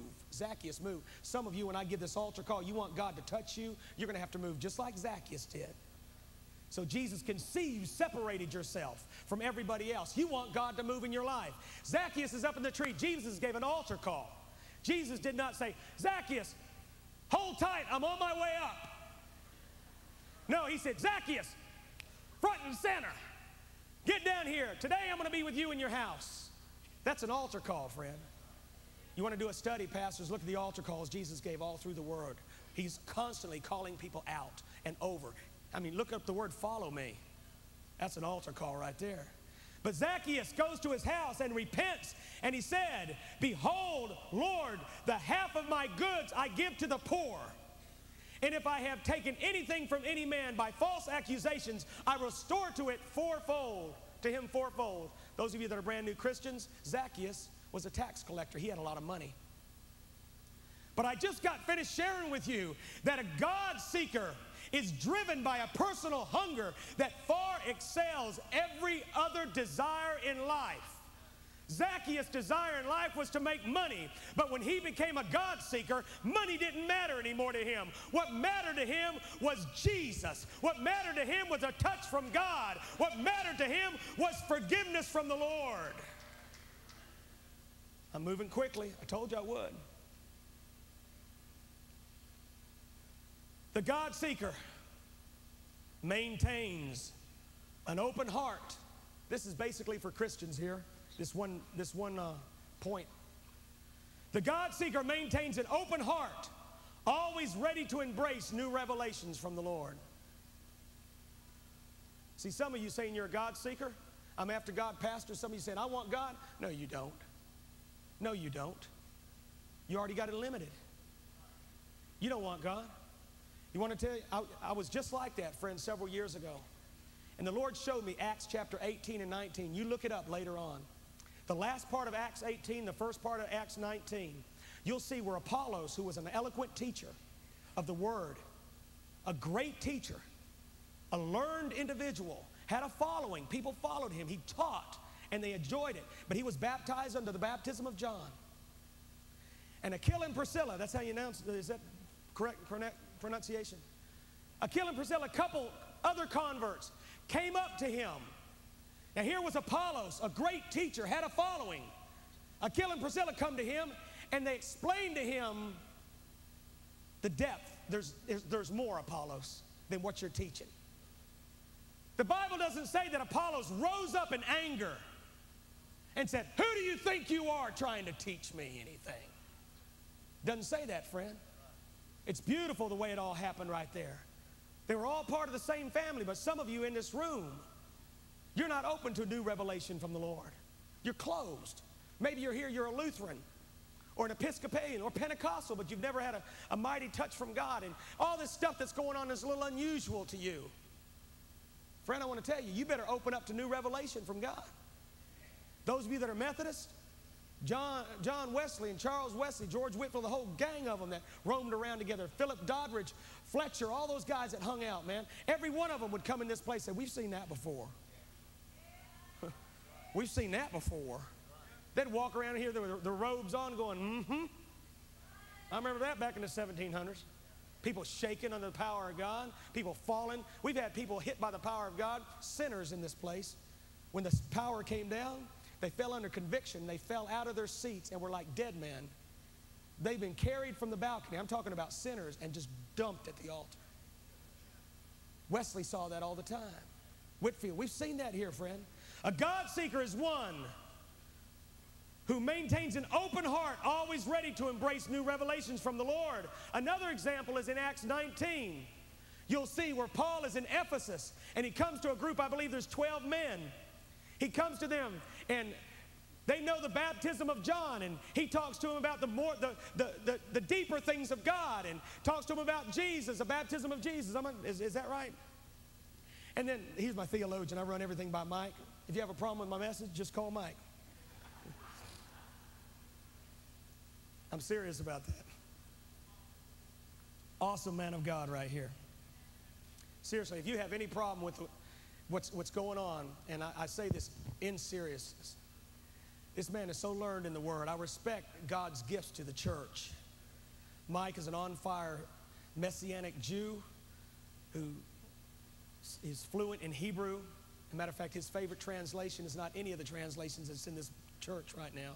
His favorite translation is the original, which he carries with him everywhere he goes and reads from it. Powerful. He's spoken 50 times for at Times Square Church for David Wilkerson. He's moved here with his family. He's going to be doing a teaching session on Friday. And whatever you got planned, if you're planning on going to the mall, let me tell you something about malls. A mall is a mall is a mall. Right?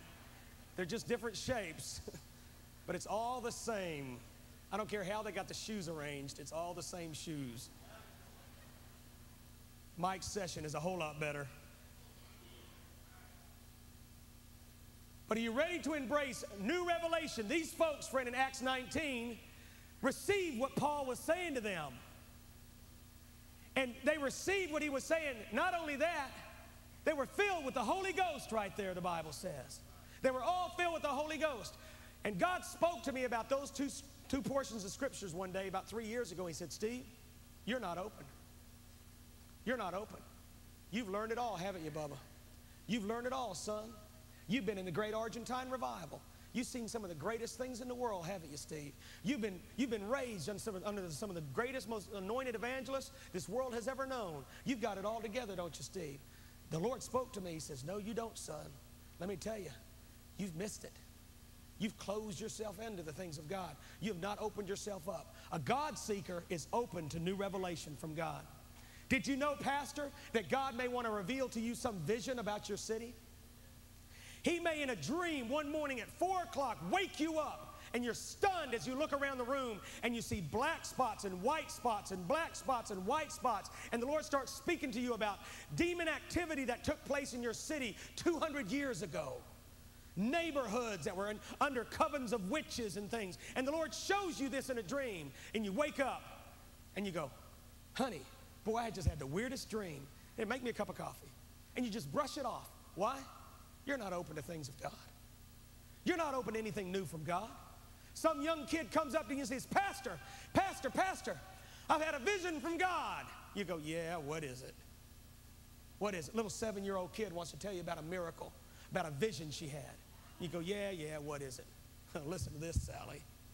Listen to what this baby girl's trying to tell us. Maybe little baby girl's got a word from God. How open are you, friend? A God seeker is open. A God seeker has a tender heart, always open to a new, fresh touch from God, friend. You better stay that way. I'm going to close in just a minute, but I'm not finished.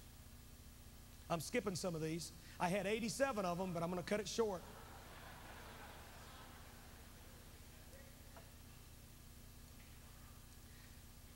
Just write this one down and we're going to move right off of it. The God seeker is willing to deal with sin when it is, is exposed. The God seeker is willing to deal with sin when it is exposed. I'm going to say that again. The God seeker is willing to deal with sin when it is, it is exposed. Peter, you remember in Luke 22, don't turn there, friend, I'm just going to quote it to you. The Bible says, now this was after Peter had already denied the Lord three times. Jesus turned to him and basically, that look from Jesus exposed him. That was exposure. He exposed him. Jesus knew, Peter knew. Jesus knew that Peter had cursed and said he didn't even know the Lord. What does the Bible say Peter did? He wept bitterly. You know what Peter did? He repented, friends. He repented. And a God seeker, that's why I've always loved Peter. He stuck his foot in his mouth all the time, but he was always after Jesus. He was at the transfiguration. Were you? He was always hanging around Jesus. He walked on water. Have you? Peter was always a God seeker. If that's you, Jesus, let me get out of this boat and walk out there to you. He was a God seeker, and a God seeker is willing to deal with sin when it is exposed. Are you, friend? A God seeker is willing to pay the price when persecution comes. Hmm. We could park on that, wimp. Telling you what, friend. There's one thing I'm so tired of in America, it's, it's spineless Christians. Did you know in this revival, all during the week we have teams of teenagers. They don't even come into these meetings. Where do they go? They hit the streets. We pray for them in the back room. They go out evangelizing all over the city. They hit the beaches late at night talking to people about God. They go door to door through the neighborhoods. Why? Friend, they're not into frills. They love this revival. They love singing, but they're soul winners. And they can handle when someone looks in their face and cusses them out. They can handle that. Matter of fact, one girl came to me after school one day and she said, she goes, I'm so happy. So what happened? I got cussed out today at school.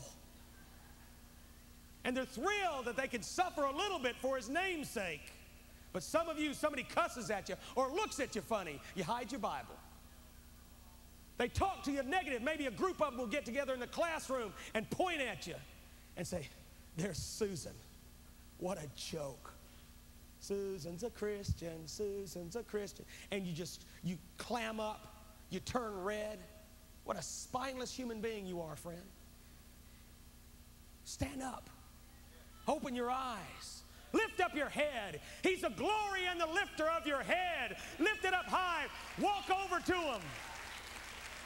Walk over to him and let him know I love the Lord Jesus Christ with all my heart, soul, and strength. He has called us to live a holy life. He has called us to live a separated life. He said, Come out from among them. He's called me to live a godly life. He said to get rid of sin, and I've gotten rid of sin. He said for me to preach the word, and I'm preaching the word. Look at him in the face, friend. Don't clam up.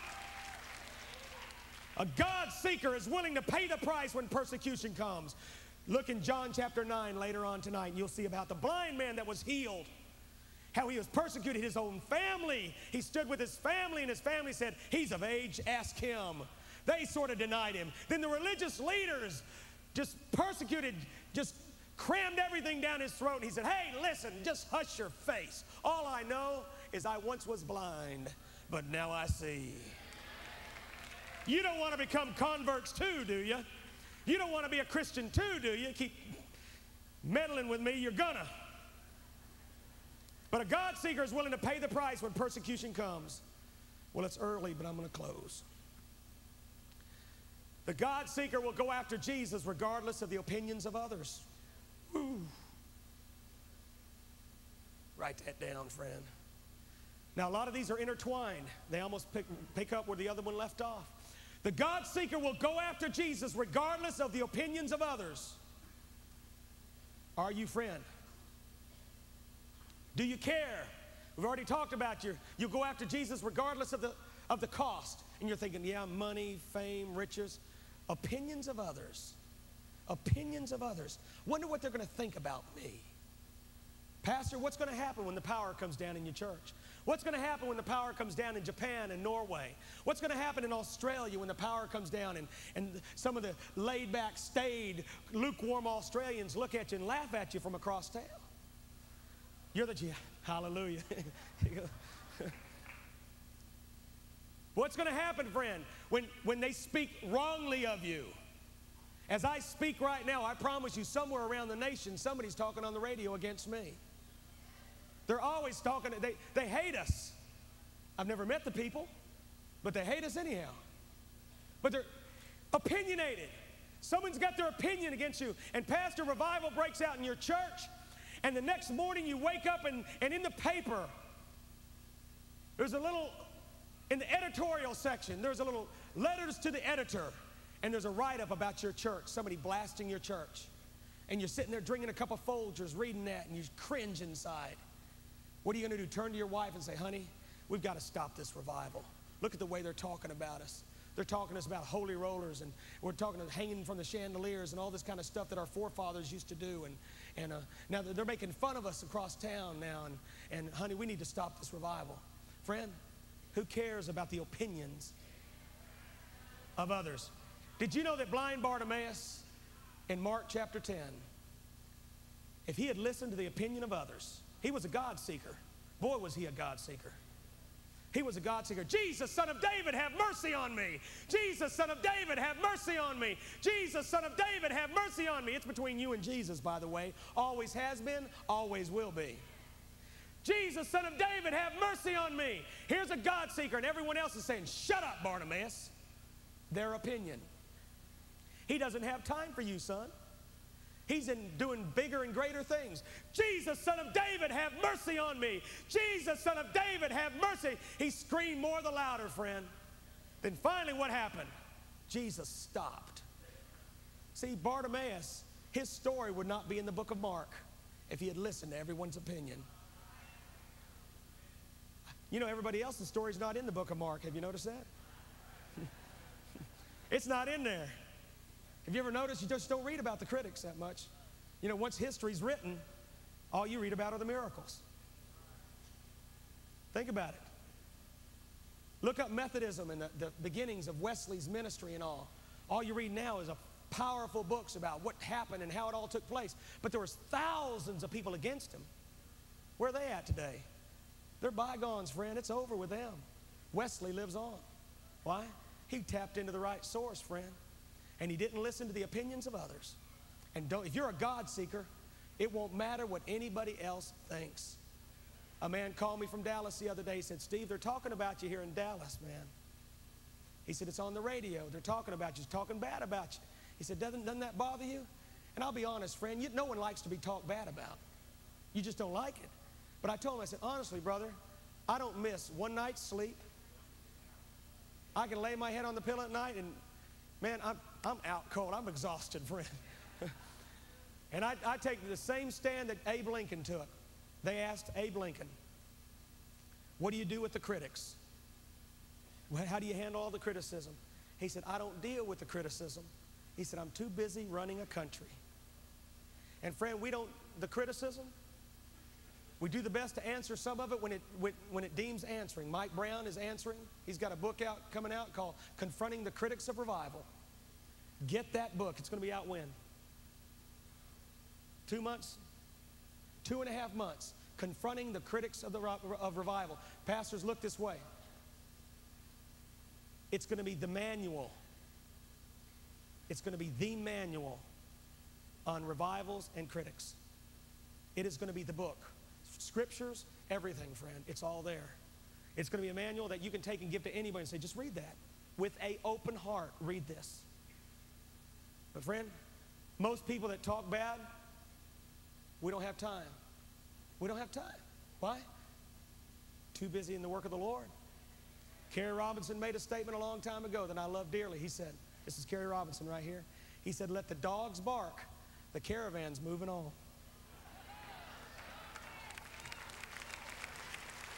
I want everyone to stand. Everyone stand. Now, don't misquote me. I didn't call all these critics dogs. I did not say that. I said Kerry said that.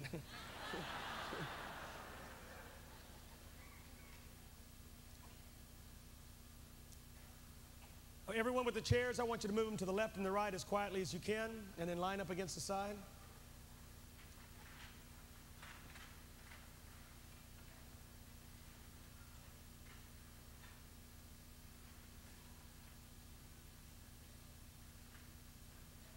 You a God seeker tonight? I want everyone to pay attention. Those of you moving the chairs, I want you to pay attention. Do not talk among yourselves. In the chapel, choir room, cafeteria, I want you to listen up. Right now is the time for you to get right with God. A few minutes ago, when I talked about a backslidden condition, many of you could have come forward right then and there. You know you're away from God. If you've come here for a refreshing from the Lord and there's sin in your life, do not come forward at the second altar call without coming forward at the first. The first one is to get rid of sin in your life. Don't ask us to lay hands on you if there's a major sin in your life. I'm, talking, I'm not talking about if you had an argument with your wife this week. I'm talking about, friend, if there's sin in your life. I'm talking about continual sin. There's something there that you haven't shaken, but you want an anointing too. That reminds me of Simon the sorcerer who tried to buy the Holy Ghost. It doesn't work like that. God does not anoint unholy vessels. You may be saying tonight, well, I don't know, Brother Steve. We've heard about fallen evangelists and great evangelists of years gone by that were mightily used. That's because the word was preached. The truth was preached. They could have been living in sin, friend. They were preaching the word. God will use His word. A drunk man can give an altar call and preach the word, give an altar call, and people get saved. But that drunk man will go to hell. But I'm talking about a mighty anointing that many of you folks are after. He's going to anoint a clean vessel. Those of you that are religious in this room, I'm going to talk to you in just a second. But everyone listen for the next couple minutes. Charity's going to sing Run to the Mercy Seat. Before she sings, I want, to, I want you to understand what, why you've got to come forward in this place.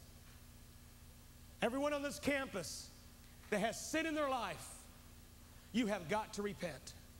Repent means to turn around. It means to ask Jesus to forgive you, wail before the Lord, weep before God, turn it over to God, ask Him to cleanse your heart. That's the foundation that's got to be laid in America. You've got to do that tonight, friend. That's the first thing you've got to do. For those of you that are in sin, and you know exactly who I'm talking about. There's sin in your life. Some of the things I named a few minutes ago. Those of you that are in pornography, that's an abomination to God, and you know it. If you can look at a naked woman, sir, and not turn your head in a split second, as soon as you see that, you turn your head. That's a hellish sin you're involved in, friend. You need to repent. A man came to me the other night and he said, Steve, I can't shake this lust. And I said, Sir, look at me. How old are you? He said, 42. And I said, You're a grown man. He said, Yes, I am. I said, Are you married? He goes, Yes, I am. I said, You have no business lusting. You're a married man. You got children? Yes, I do. But I just can't shake it. And I said, It sounds like you don't want to shake it. Because a man can do what he wants to do, friend. You can do what you want to do. Don't tell me that you're so easily led. The Bible says there's no sin taking you, but such as is common to man. But God will give you a way of escape. He will give you a way of escape, friend. And a lot of times it's this right here, turning your head. That's why He gave you a neck. Just turn your head. But some of you don't want it. But tonight you got to repent. That's what you got to do tonight. Is repent. Ask Jesus Christ to forgive you, to wash your sins away. Those of you in this room that have never known the Lord, I shared with you at the beginning that Jesus Christ died 2,000 years ago for you. He shed his blood on Calvary. He was the sacrificial lamb. John the Baptist pointed to him and said, Behold, the Lamb of God that takes away the sin of the world. Everything, friend, was laid upon the shoulders of Jesus. Everything, everything you've ever done was laid upon him. He paid the price for you. Without the shedding of blood, there's no forgiveness of sin. You know, I preach in maximum security penitentiaries. And it's amazing when you get back there with all those lockups that are facing life anyway. You know, some of them are going to go, they're going to die in the penitentiary. And I start talking about the blood and the cross and the sacrifice. You watch grown men, hardened criminals, wiping their eyes like that, man.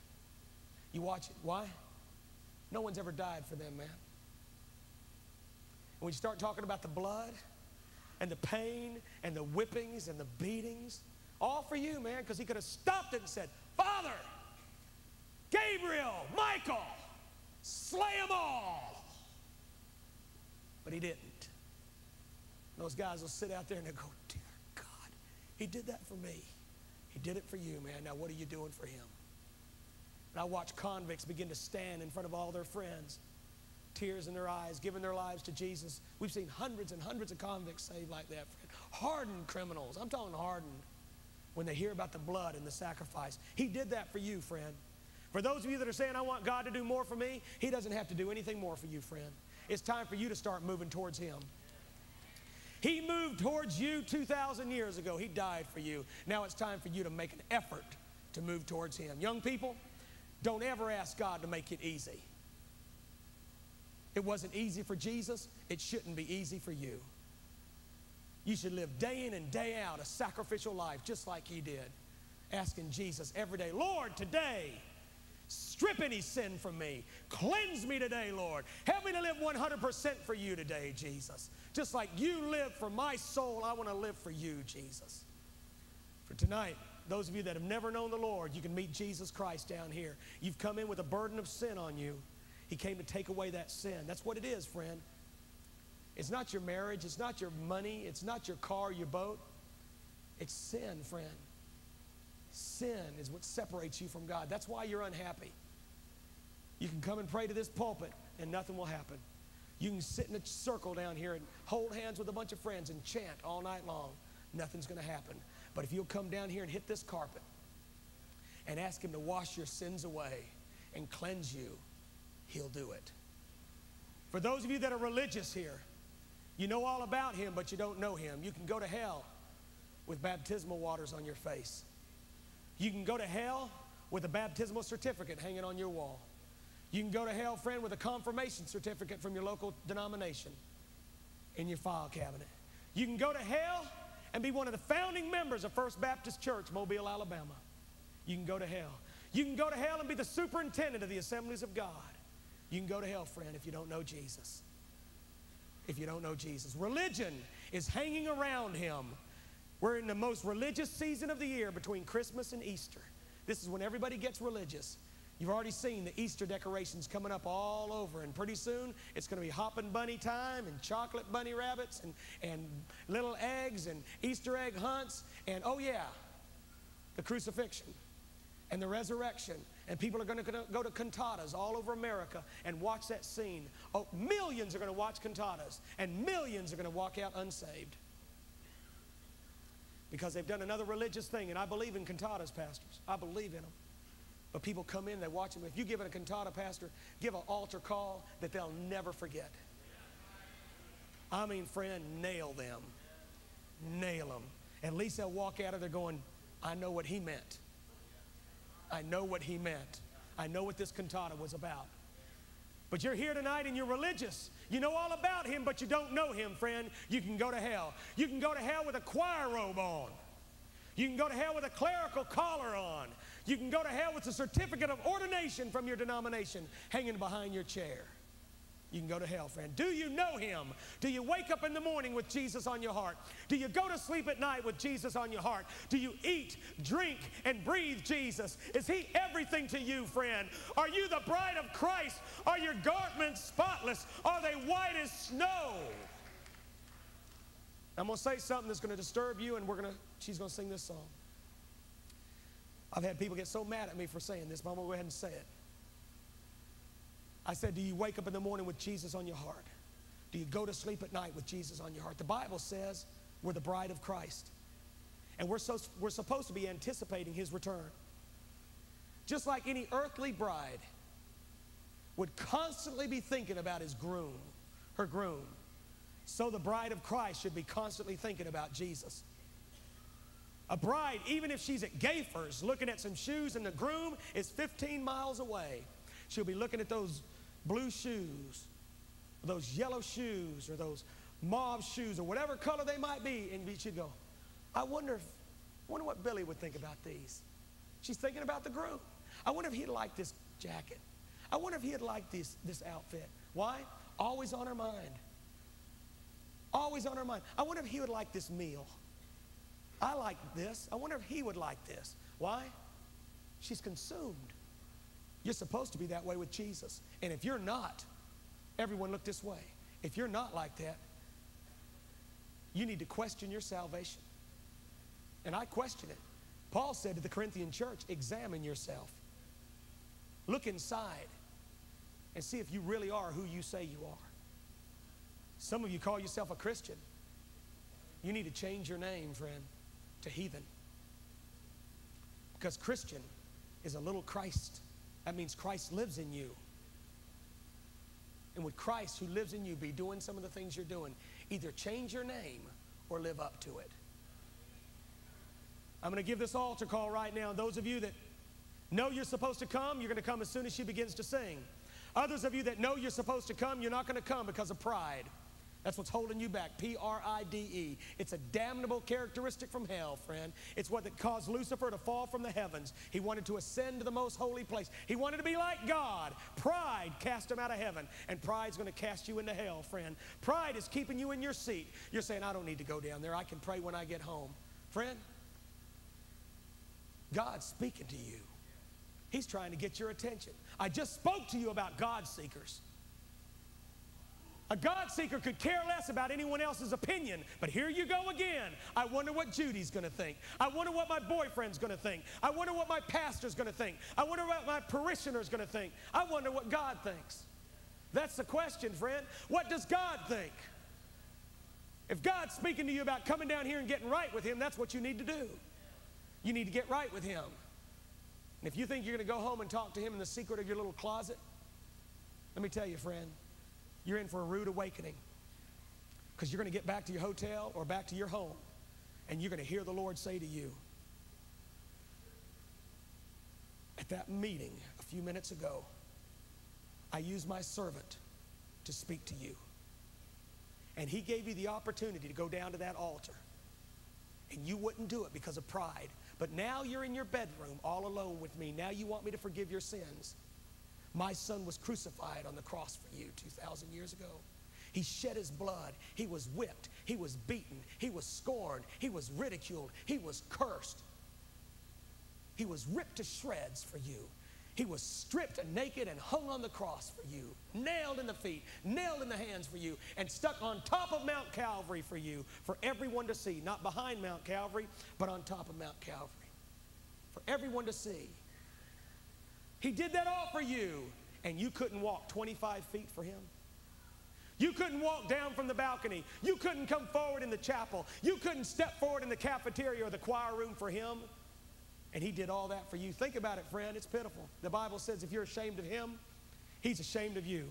If you'll confess him, he'll confess you. Right now, Charity's going to sing Run to the Mercy Seat. If you need mercy, if you need forgiveness, if there is sin in your life and you want the Lord to wash it away, if you've never known the Lord or you've known him and you've backslidden, I'm going to open up the altars right now. I want you to come and hurry, hurry, come down here. Hurry, come on, come on, come on, hurry. Right now, let's go, let's go, let's go, let's go. Sing it, Charity. Hurry, hurry, hurry, Everything is unknown. hurry, come on. I face the power I need the Lord. I need the Lord. on my own. I need the Lord. I need the I did not know of a place Come I on.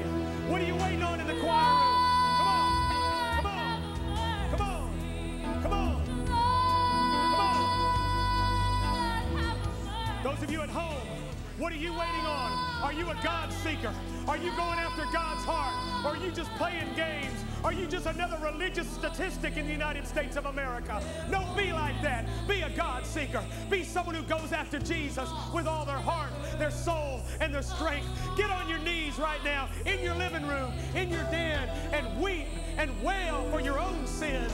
Go after God. Ask Him to forgive you. Ask Him to cleanse you. Ask Him to make you new. Be a God seeker. It doesn't matter what anyone else thinks. What does God think? What does God think? Go after Him. Come on. Come on.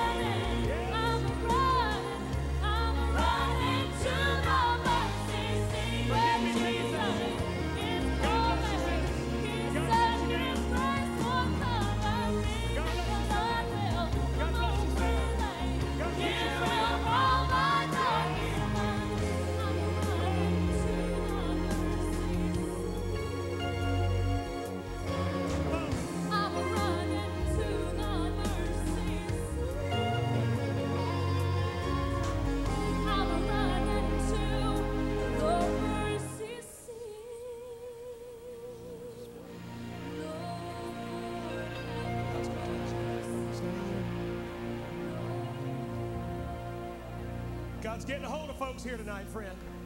Those of you at the altar, don't anyone move. Stay at the altar. Stay right at the altar. Everyone at the altar, stay right here. Tell you what I'm going to do, friends. The Lord spoke to me about closing this altar call right now. He spoke to me about closing it. This is a serious night. Those of you that are thinking about waiting until tomorrow, tomorrow is a word only found in a fool's calendar, friend. Don't ever bank on it. There's people that were planning on going fishing tomorrow that were buried today. There's people that are planning on going to Disney World this summer that were buried last week. They thought they had tomorrow. I'm going to give you 60 seconds to step out and come forward. Then we're going to close this altar call. I'm going to close it in 60 seconds. You better make up your mind, friend. If you know you're supposed to be down here, God bless you. Come on, right now. Starting right now. Let's go. Hurry. Hurry. Hurry. Hurry. Lord, have 50 seconds. 50 seconds. For we have Hurry, placed Hurry. all our hopes Come on in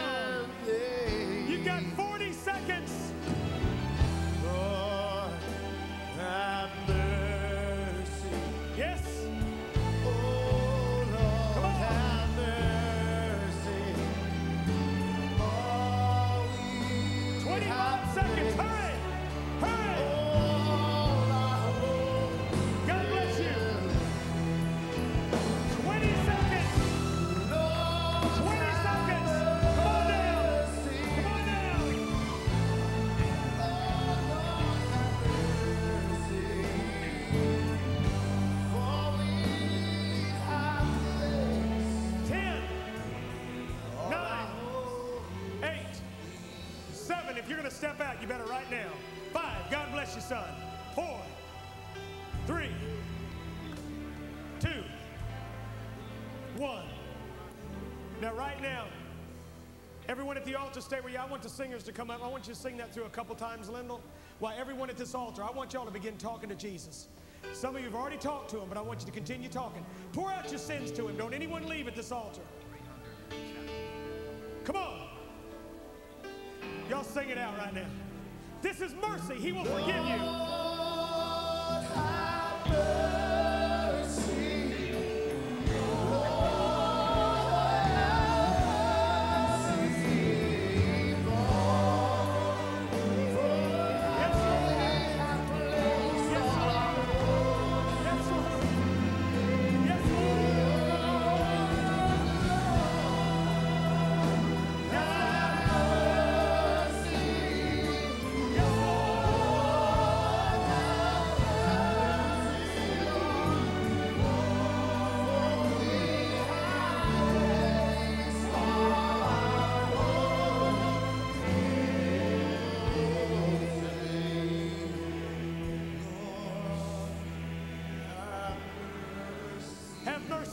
Jesus.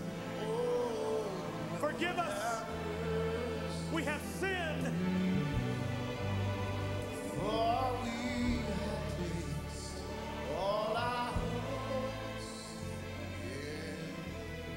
I want everyone at this altar.